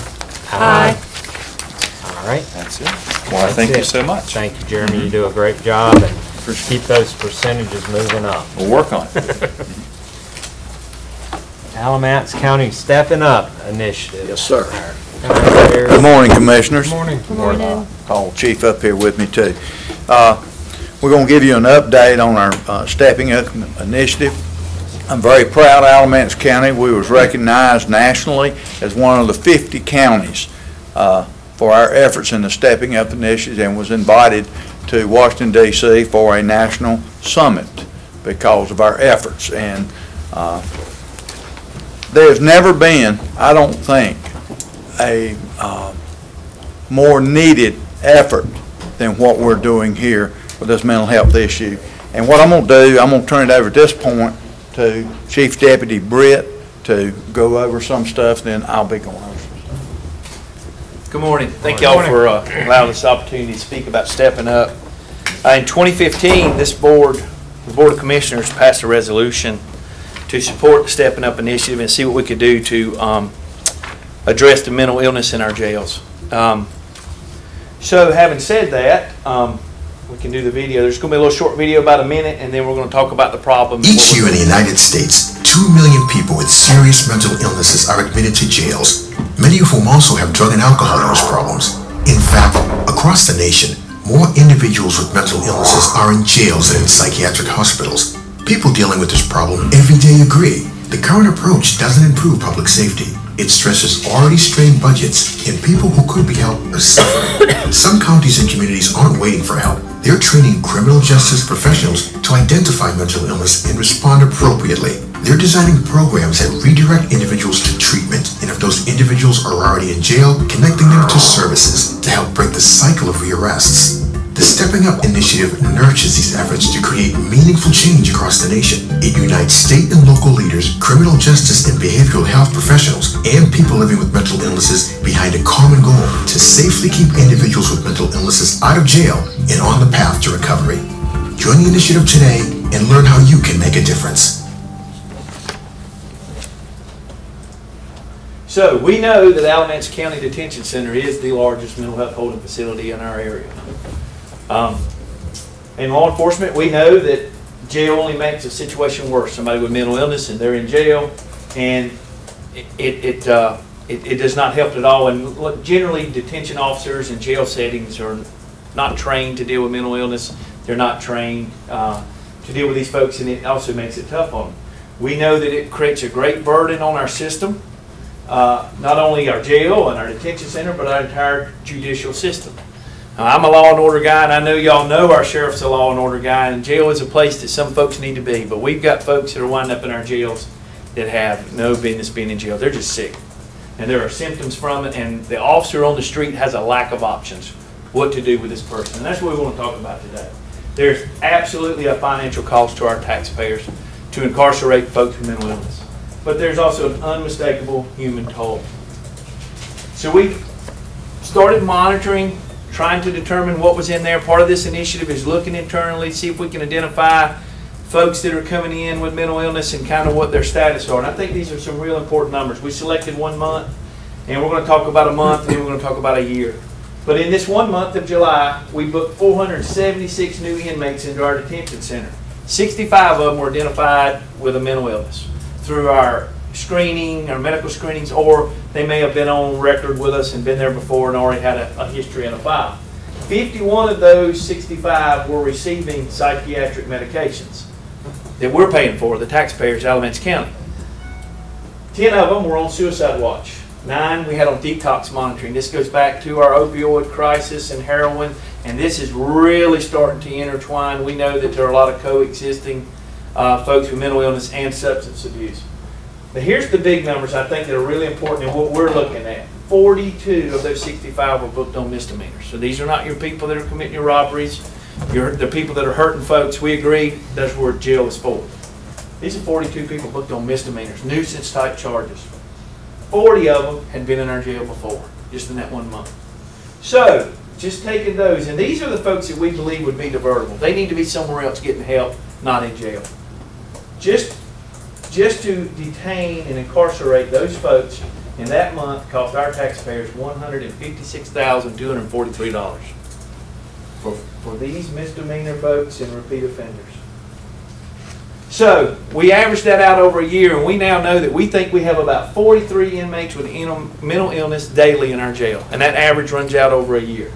Taking our cost per day to operate. Now this cost, some of this is fixed, but this is our total cost. So if we take what it costs to operate our jail, how many bed days are spent in the jail. Simple math comes up with how much it costs per day to house an inmate. Some are more, some are less, that's the average. We know people with mental illness actually cost more, but let's use the average of 7754.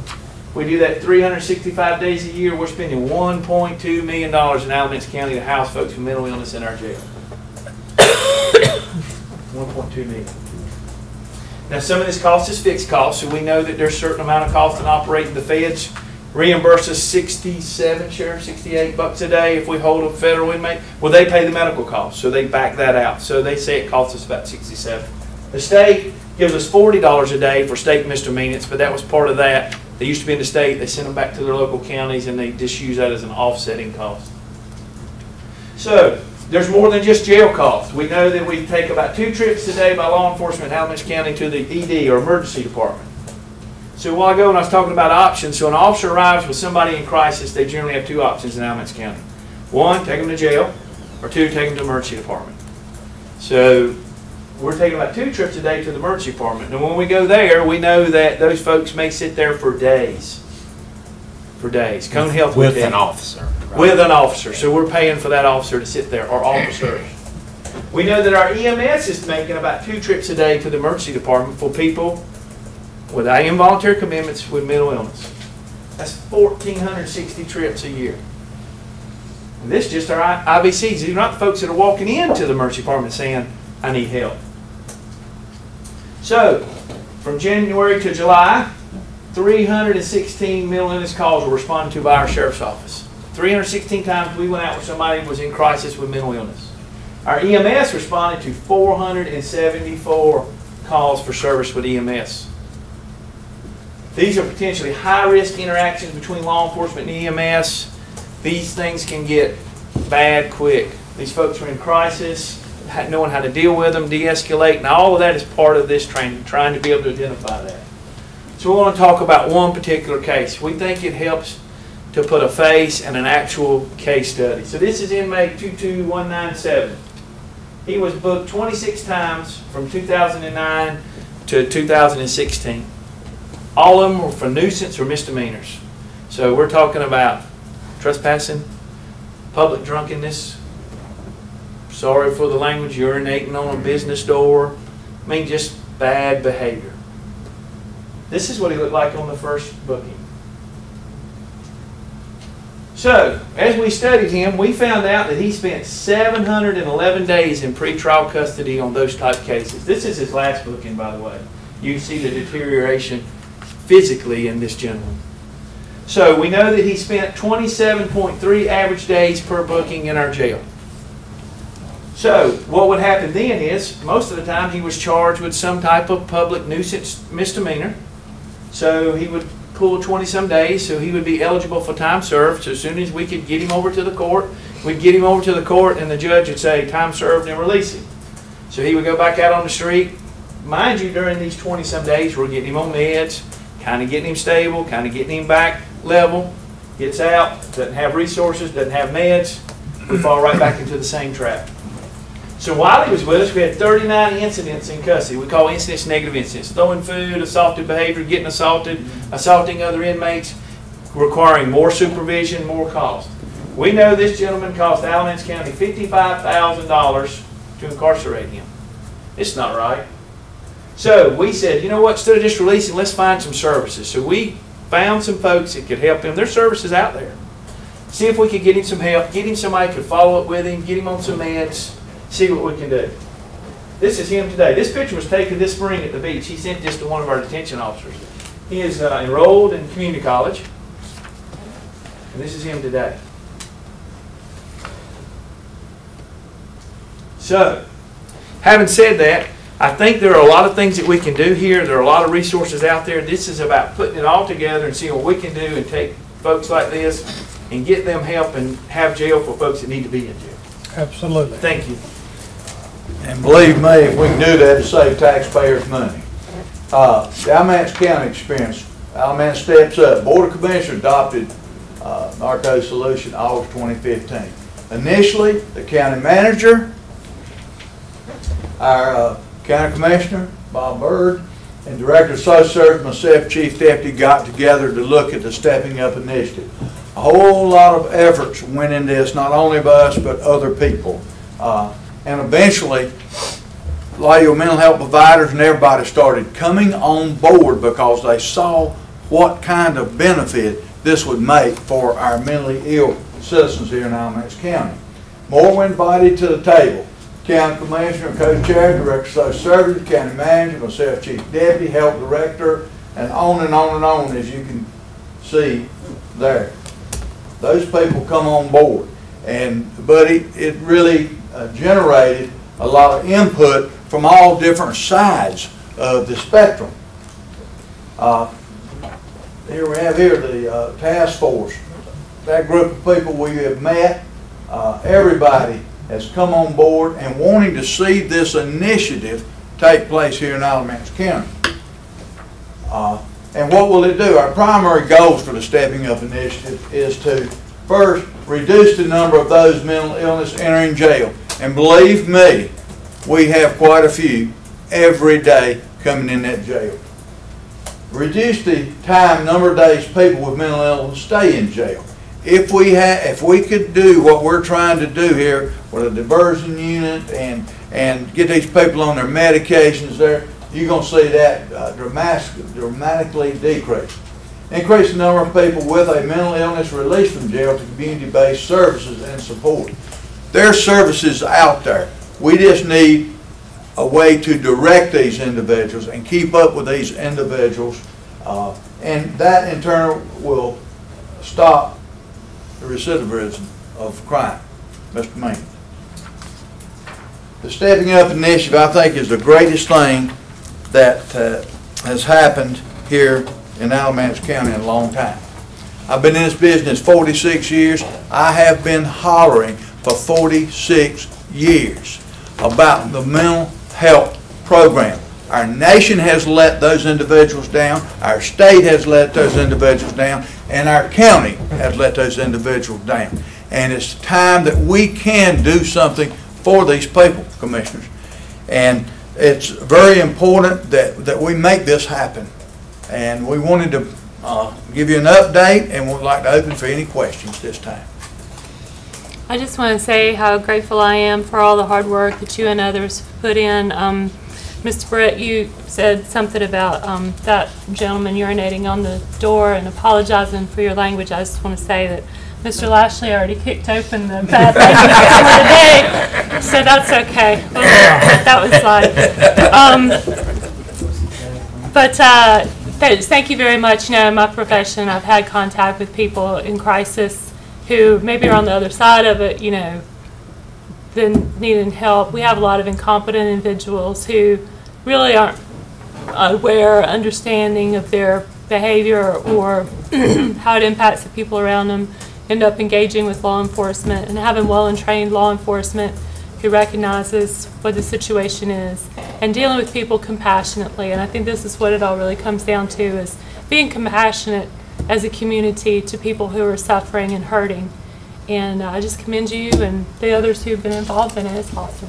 Well, sad thing is, these people can't help it. It's, it is a disease, and we have to treat it. And it's more imperative, matter of fact, the last deputy sheriff killed in Alamance County was killed serving mental health commitment papers.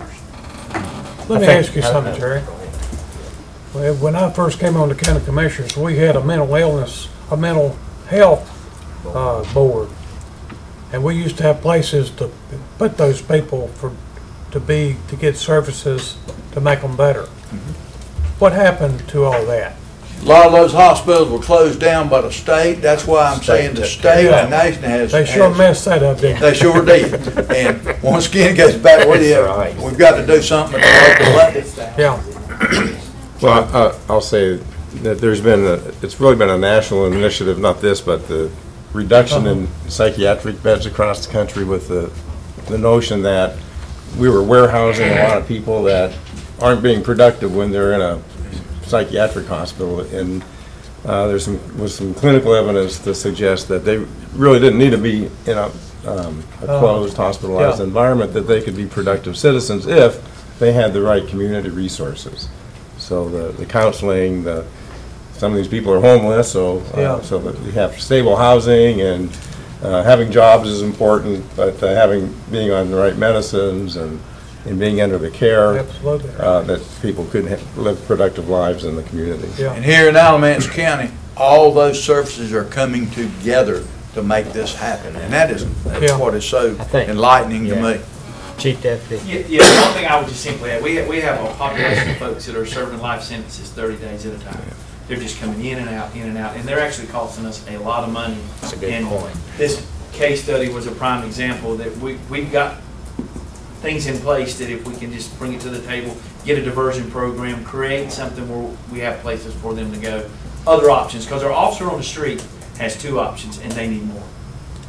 I agree, and having a group together like you have on your ta- task force, I mean, that's how you connect those dots that make it work. Absolutely. Because if you don't know this service is here to help, it, it's no good, so. I tell you, it's very heartwarming and gratifying for me to be serving on this, because when, every time we have a leadership meeting or a task force meeting, and I see the interaction of these people, and the enthusiasm, and uh, it- it's just really very gratifying. So we're, we're making progress. I'm tickled to death with it. And, and I guess we need to Good. make a motion on this, uh, to, to trip.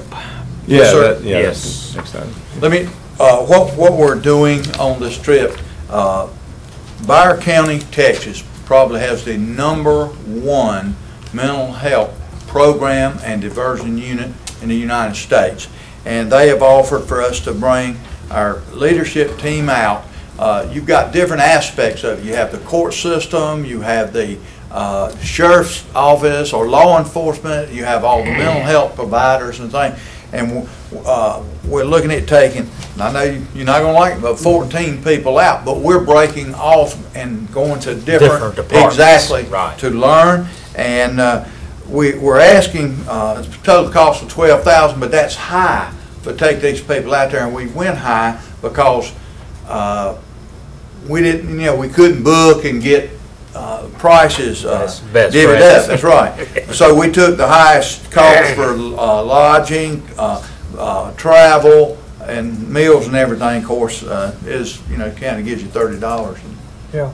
So we could set that, but we're looking to go to Texas, uh, and we haven't booked anything at this point, waiting to see if the commissioners would uh, allow us to do that. But I'm telling you, I know it looks like a lot, but I think it is very important Well, that we it's, go it's hard to reinvent the wheel every time you want to do something. So, Absolutely. There we You go. got it. So From a funding perspective, last year Cardinal, who's the managed care organization here that handles mental health and those type issues, granted back to our Stepping Up team fifty thousand from the MOE funds to be used for planning and implementation. We still have forty-three thousand of that sitting in a separate line item so we could track cost for For planning and implementation of this program. We've only, we spent about seven in the last year and a half. So we would like to take the funds out of that, so it's already there, it's budgeted, was granted back to us from Cardinal, if that, if that helps so far as the funding stream goes. And we also have received a two hundred and fifty thousand dollar BJA grant to pay for CIT training, uh, mental health first aid for telecommunicators, EMS, uh, crisis intervention training, de-escalation tactics for officers, and project coordinators that would be funded out of a federal, that's already been granted to us. Did I get that right, Susan? That's right? Okay. So that helps too. Well, And for a Whole lot of things program. happening. Yes. And for a Uh, to help program And for the for, sheriff's yes, sir, and office. a co-responder program. It was- I knew it was multiple pieces. So this money isn't coming out of the general fund or something that could be used for really another purpose. This is kind of what set money's It's for mental anyway. health, Mental health. Planning and Setting implementation of this program. Yes, ma'am. One last comment I wanted to make was that I think that uh, talking to people in the community about the problems facing our federal government are so big, and you feel like noth- the things that our federal government seems to try to do doesn't do what they want to do, like with the healthcare situation and insurance, you know, it makes it worse or has, you know, it's all a mess. And it's just so nice to see people in our government working together to try to do something nice for people, and you see an actual benefit. You see a result that is meaningful, and it really touches people's lives. And I just think that a lot of that is a reflection on the heart of the people involved, and also going to training and, and doing it intelligently and seeking out what's the right way to do this. You know, so I really commend you all. Thank you. I once heard a statement, insanity is doing the same thing over and over like we've been doing for many years and getting the same results. I think it's great that we're being a leader in this instead of a follower. It's certainly good to have the commissioner's support uh, in this effort, because like I say, it's been a lifetime thing for me as an officer, uh, dealing with this stuff. Okay. I'll entertain a motion if someone would like to make one. I'd be more than happy to I make a thought you motion. would. I just. I'll second it. Okay, thank you, Bob. Bill, all in favor? Aye. Thank you, Sheriff. Thank you. Deputy. Thank you. Next, Stacy.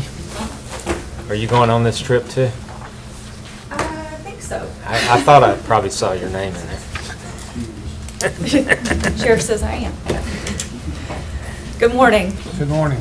So I think I have um, three budget amendment items in front of you, and on the agenda, they were not um, specified. So I think the first one is for performance management funds. That one did have a Right. dollar amount with it. So we'll start there.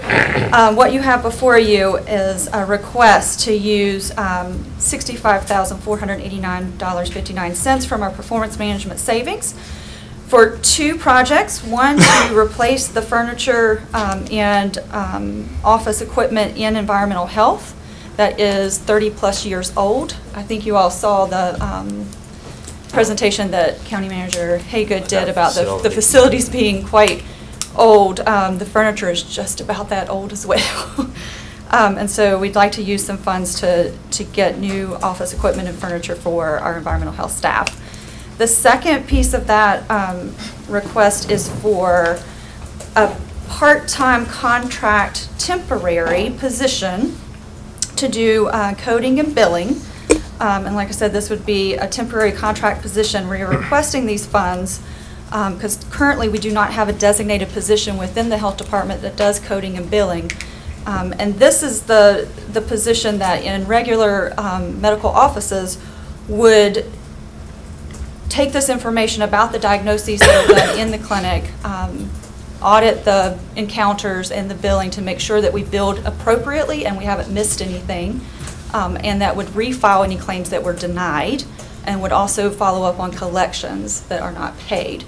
Um, Some sources state that upwards to 20% of potential revenue is lost um, due to coding and billing mistakes, um, and given that we don't have an actual person doing this, um, you can make those assumptions. Um, And so this is a standard practice in lots of medical um, facilities, and this is one step in getting us closer to practice management within the, the clinics and within our health department, which is not something local health departments have um, really ever found them, their way into, but now with Medicaid transformation and um, as we move toward accountable care organizations and managed care, this will be much more important. Um, the other benefit to this is that anytime we increase our revenues in the clinic, that means less tax appropriated dollars that we um, have to use to offset. I, I just had one question. Do you have any estimate about how much you might increase that revenue stream with this half So- person? I don't have any firm estimates. I can tell you that, you know, even just a five percent increase based on the, the revenue that we get in Medicaid and insurance and fees uh, would pay for the position, part-time contract, and have some left over. It would be roughly fifty thousand dollars. Well, that helps. And so, um, So but this it'd is a plus, pilot. yeah. So we're essentially Uh-huh. asking to sort of have a pilot project to see if this actually would work for us in local health department. I, I've got one question on the uh, furniture issue. I know we're talking about possibly of moving folks around and so forth in the future. How does that work? These would, I'm sorry. Uh, We, Stacy and I talked, and uh, this furniture would be mobile, so it's not Okay. anything that would be It's affixed to not the a building. fixed and stru- structures. fixed desk or whatever. And if approved, this would bring our um, performance manage, management savings down to $22,007.38. Okay. Question? Mhm. All right. I'll make a motion that uh, we approve that. Thank you, Amy. I'll second it. Thank you, Bill. You All in it. favor? Aye. Thank you. And next, you have one. So I think the second thing on your list is an Impact Alamance grant for $7,100 for uh, implementation of the Positive Parenting Program.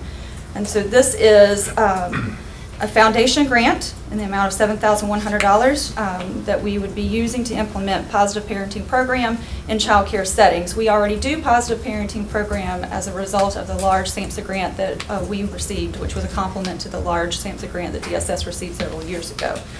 We focused on um, primary care providers, particularly pediatricians, um, the schools, um, in our first phase of Triple P, and now we would like to um, move that into the childcare settings because we know that childcare providers spend anywhere from four to 10 hours a day with children and um, act as their primary caregiver during that time.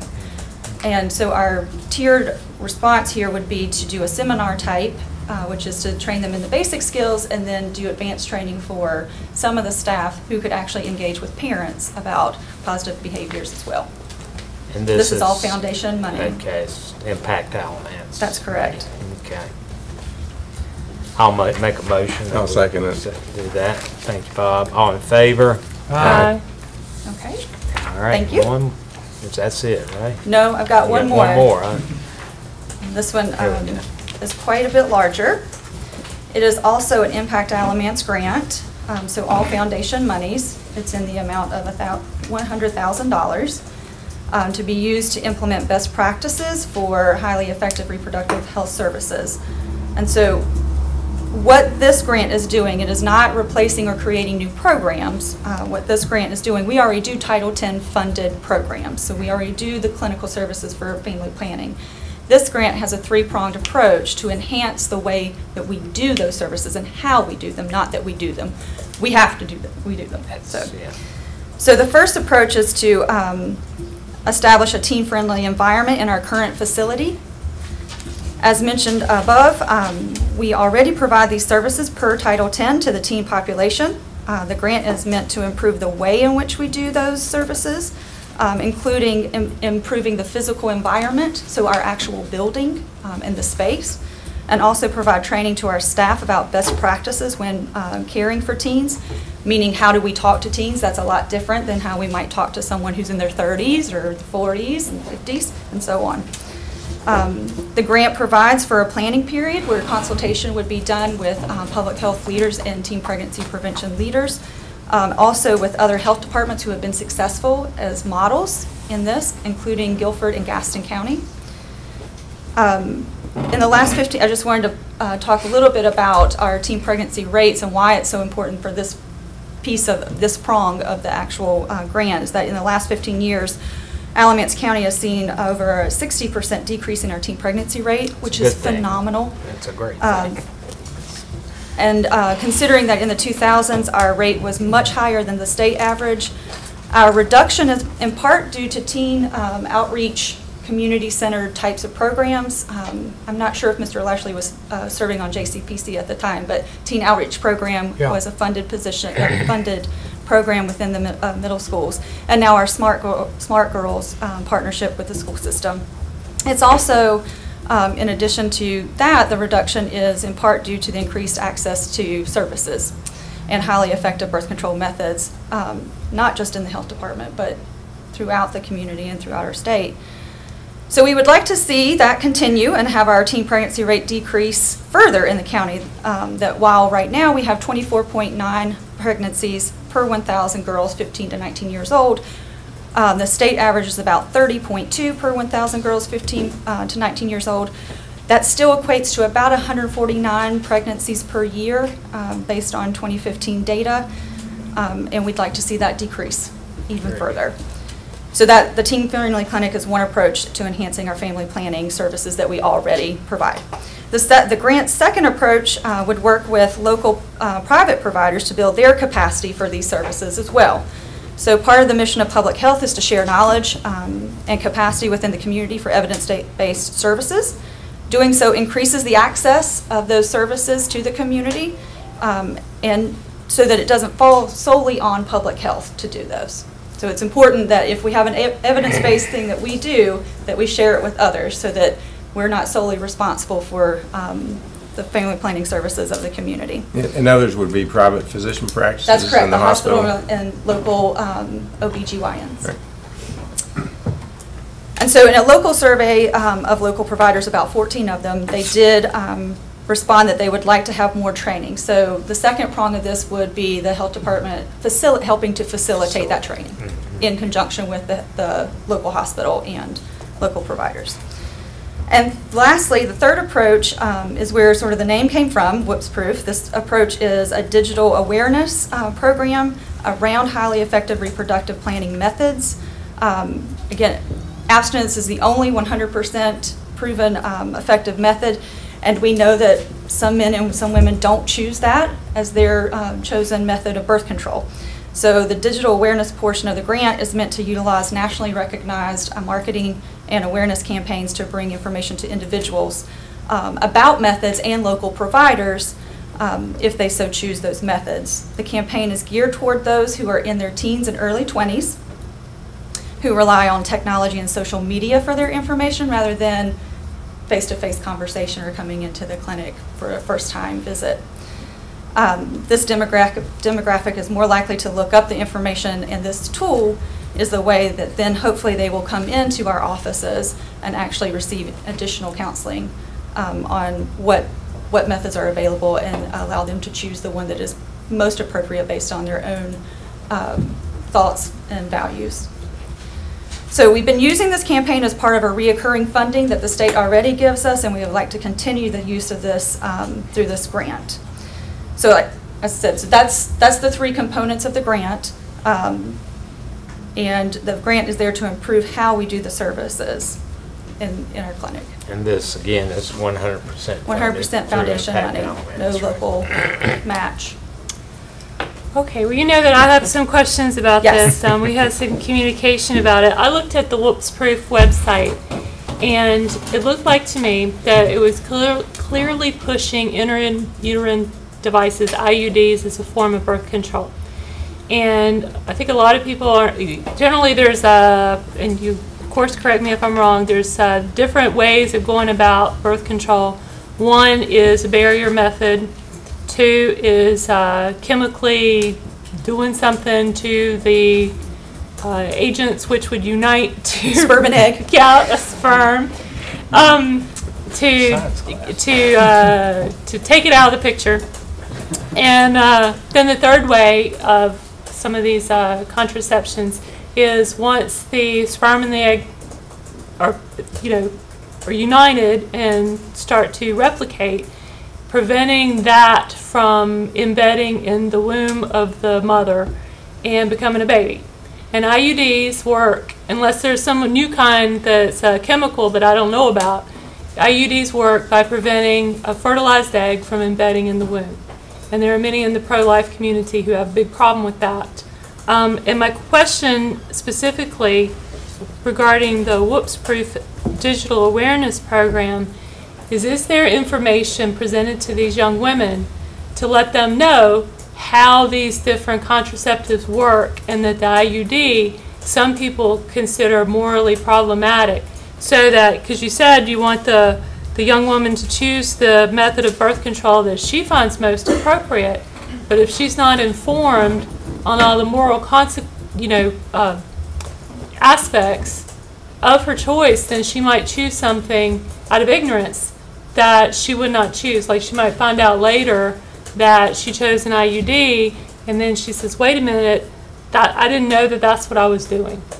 Can you address Sure. So first, um, according to Title 10 FDA and ACOG, and which, which is the uh, American College of Obstetric- Obstetrics and Gynecology, and the Association of Reproductive Health Professionals, um, the IUDs, the intrauterine devices, are one type of LARC. There's also the Nexplanon, which is an implant in the arm. So those are the two types that we're talking about.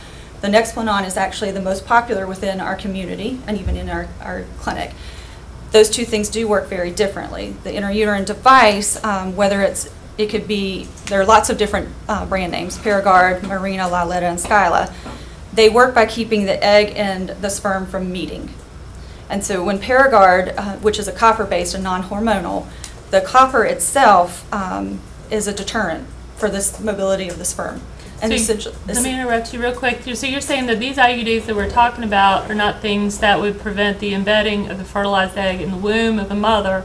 They're things that would prevent the sperm from getting up in there. the basic definition is that they make it inhospitable for a pregnancy to occur. Okay, that's interesting to know. So that's the, the definition, and then um, the basic definition is that it creates either by hormone or by a chemical, me- meaning the copper, a material, um, inhospitable. The Nexplanon actually works by inhibiting the release of an egg. Right. Um, much like your birth control pills do.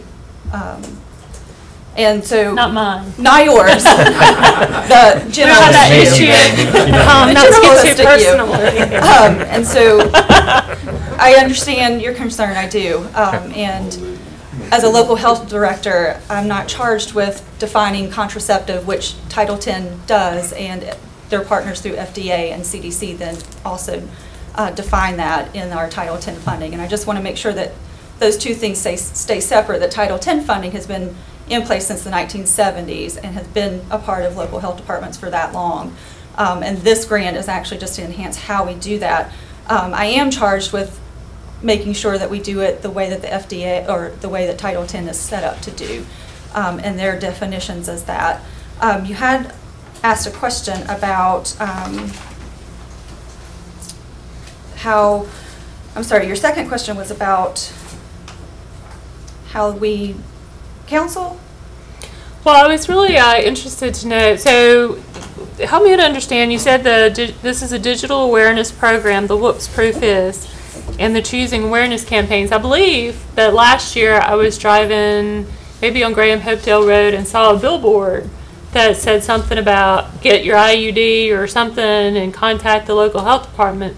And I read, do you know what I'm, it's that? Yes, that's So- through the state reoccurring funds that we, we have. Yeah, that startled me to see that. So, but you're saying that these IUDs that we're talking about now are chemical and not mechanical. They they destroy the sperm or inhibit the sperm So- itself instead of getting up in there. And Based on the definition about IUDs and the implants, so these are all long-acting re- reversible contraceptives. The mechanism by which almost all birth control methods work is to create an hospitable environment in the uterus for uh, pregnancy, including fertilization. So that means that they can't meet. Um, Some of them work so that it makes um, the uterine, uh, not, the uterus not a place where sperm wants to stay. Um, Some of them work by inhibiting an egg. Some of them uh, work that they just don't ever meet each other. Um, And so there's nothing to, there's no fertilization that takes place. Um, And so all of that creates an inhospitable environment for the uterus. And, and so those are the definitions based on our leading professionals and, and folks who, who do these programs all the time, including Title X, um, ACOG, and all the other professional um, groups. So, what role does the digital awareness program actually play through the Alamance County Health Department? What do y'all even have to do with it? How does how does the money allocated by Impact Alamance through this? What do y'all do with it in this third prong Right. approach that you have? Great question. So the media, the, the awareness campaign already exists, so we become a partner in that. And so that if a young woman was to look up about what is an IUD or what is an implant, um, she would see this whoops proof um, website. And if it, if she so chose to say, well, where do I find these things? Where do I find more information? our information would pop up, so would um, some of our local providers, as it does right now. And so we're not the only ones who provide these, but here are some folks that you can go to who are competent and trusted providers in your community who can tell you more about that. And um, for, for us at the Health Department and for the FQHC, we have to follow Title X funding, or funding requirements, which also means we have to talk about abstinence and, and the FDA-approved um, methods. And we also have to make sure that um, there's informed consent about uh, their choice, and we cannot coerce as part of those requirements. So if somebody came into your office through the digital awareness program and said, you know, I looked online and I think I want an IUD, hook me up with that. You always say, well, let's let's talk about that for a few minutes and let's discuss all your options and kind of use them coming in as a as a way to start a conversation instead of just saying, all right, 16 year old, you know what you're talking Right, about. Right, you can't just go." walk in and get one. Okay. Um, It's a conversation. Tell us, tell us why that, why that seems like the best option for you. Oh, and then we go through, and there's a complete um, clinic visit that happens with that too, about, let's talk about your medical history, what sort of choices are you making right now? Um, And then going through those motions about the rest of the education. Okay. Thank you for answering all those questions. That You're was a lot. welcome. It sounds like some of the things you guys have been doing are working with the rates coming down for early Yes. pregnancy, so. like I said, it, you know, it's a combination of, of several things. Um, and generationally, we're changing. Um, and so we recognize that. Unfortunately, yes. Yes. We recognize that um, as more and more folks come into our clinic, that generationally, we look a lot different um, than we did um, a few years ago. And it's time for us to think about how we provide those services. And how to connect with the younger population that come to my house, my granddaughters, and stay on text and on the internet. Correct. Can't have a real conversation, so I understand that. I do appreciate your thoughtfulness with this, Yeah. absolutely. Well, I'm just really, I'm, my concern is that uh, that there's full information out there for these teenagers and that they really understand all the consequences of what they're deciding to do, so. And Okay. they don't do something that they don't really understand and would find, what, what, I did that. That's not what I wanted, yeah. I agree with that. and uh, I'd make the motion that we Okay. approve the uh, request. Thank you, Bob. I'll second that. All in favor? Aye. Thank you Okay, very much. Very good.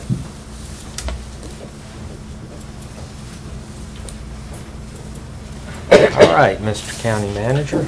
Uh, The only thing I'd, Tell us. the only thing I'd like to say this morning is I'd like to recognize County Attorney uh, Clyde Albright and Andrea Rollins. They've both put a lot of work in on the uh, Airgas uh, negotiations that came this morning. It's the first time I've been a part of a uh, project that's actually come to the board and very impressed with both their efforts. And uh, there's a lot of work done by the chamber, a lot of work done by the company.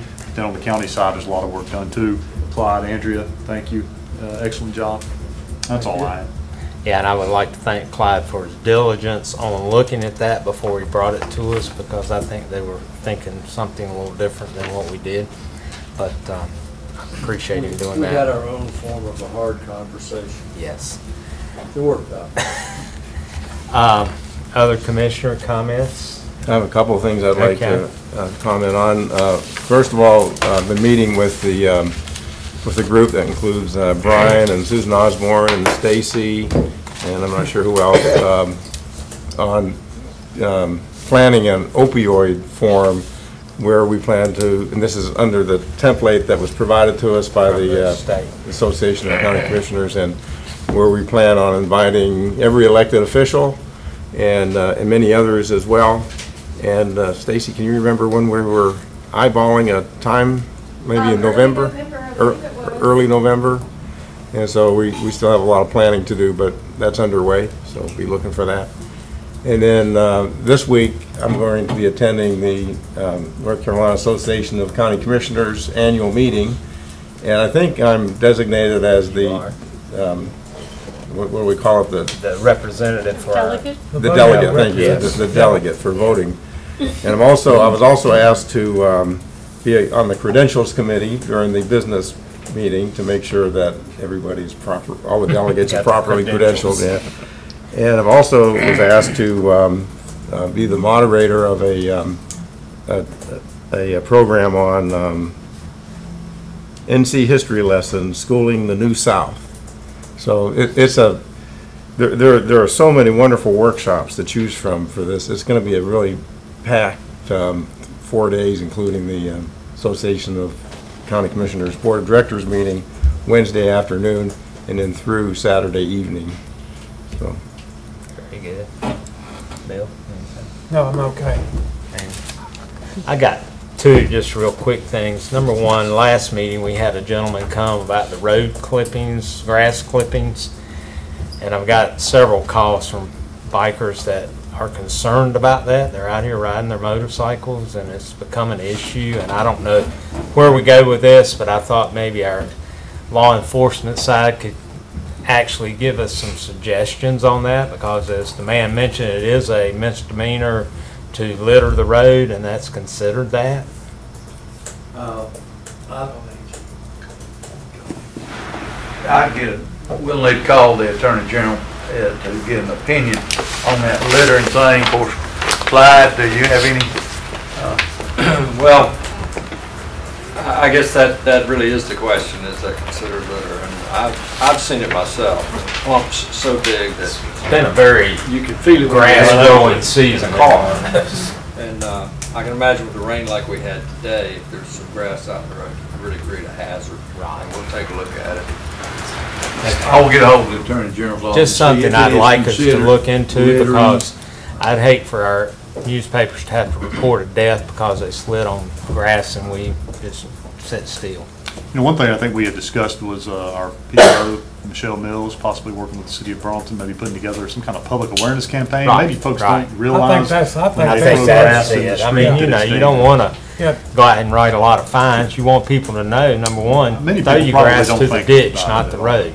So uh, I think we'd also talked about maybe inviting the gentleman and any of his uh, members uh, to work with us, maybe put together a video that could go on our PEG channel that we co-sponsored Okay. with Burlington to try to get, educate homeowners, not to, to turn the other way. when the Kind of like tell them not to pour motor oil down the drain, right? Yes. There you go. Yes. We will do that. We'll look into putting together some kind of a campaign. We're Okay. videoing this Wednesday for Oh. that. I'm sorry. We're videoing this We're videoing Wednesday. this Wednesday at Cedar Rock with some bicycle. Okay, um, and if we could get a little information, I think people watch that, and that would be a starting point. Also, um, went to the Junior Police Academy, which was a great event, and uh, Bob was there, and I I forgot the plaque this morning, but they gave us a nice plaque. I'll bring it, give it to Tori, and she can do what she does with plaques, but anyhow, uh, it was a great event, and one thing Larry Brown did when he was talking to those kids, which I thought was very impressive, and kind of what you said. He, they try to teach them. You got to Yeah. teach them. Yeah. And one of his sayings was, "Get out the tub." A- And there was a little reference to his family life he had been, where he had a lot of a lot of people in his family. He was always the last kid in the tub, and he told these kids, "You need to get out of the tub if you hanging out with these gang bangers or whatever, and it'll make your life a heck of a lot better." And uh, so it was just a That's good catchy advice. phrase right Good there. advice. Great way to teach personal responsibility, which is Yeah, what you were getting at. there you go. Yeah. So, Anyhow, if there are no more comments, uh, I would like to make a motion that we go into closed session pursuant to North Carolina General Statute, Section 143-318, 11A, 3, in order to preserve attorney-client client privilege between the county attorney and the board, and receive a report regarding the claims made in the case entitled Manning versus Alamance County. And I need a second. on that. Second. Thank you, Bill. All in favor? Aye. Aye.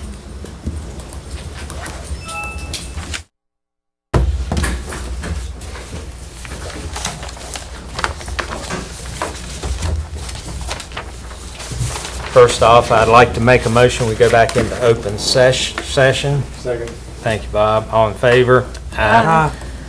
Uh, We went in closed session to discuss the Manning versus Alamance County, and uh, Alamance County has reached a final settlement agreement with Thomas K. Manning, a former Alamance County finance officer.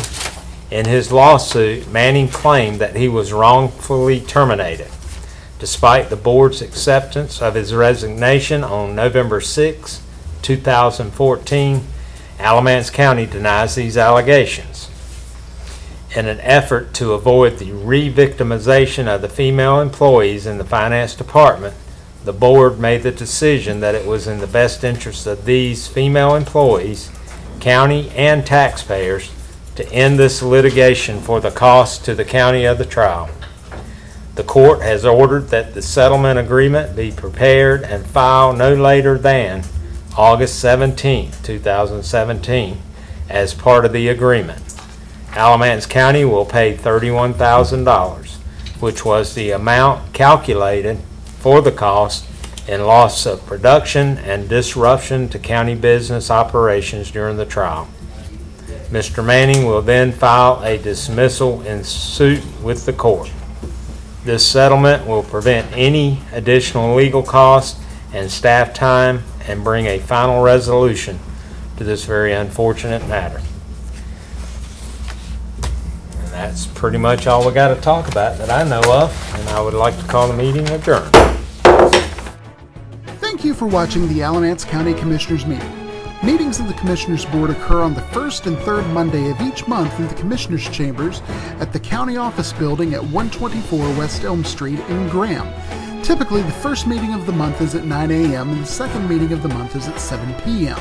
Changes to the meeting schedule will be posted on the county website at www.alamance-nc.com. The video of this meeting is broadcast on Time Warner's public access channel on the second and fourth Wednesday of each month at 10 p.m. You can also access this meeting through our website at www.alamance-nc.com. Please visit our website for more information about watching meetings online. For technical questions regarding this meeting's online or television broadcast, please contact our county webmaster at webmaster at alamance-nc.com. Please note that this address is for technical questions only. Questions regarding the content of commissioners' meetings may be made to the commissioners themselves. You can find their contact information at the county website at www.alamance-nc.com. Click on the link that says County Commissioners to learn more about our commissioners, read minutes of past meetings, access agendas, and find other information about the county commissioners. You can send mail correspondence to the Commissioners by sending it to the Alamance County Commissioners, 124 West Elm Street, Graham, North Carolina 27253. Again, thank you for tuning in to the Alamance County Commissioners meeting.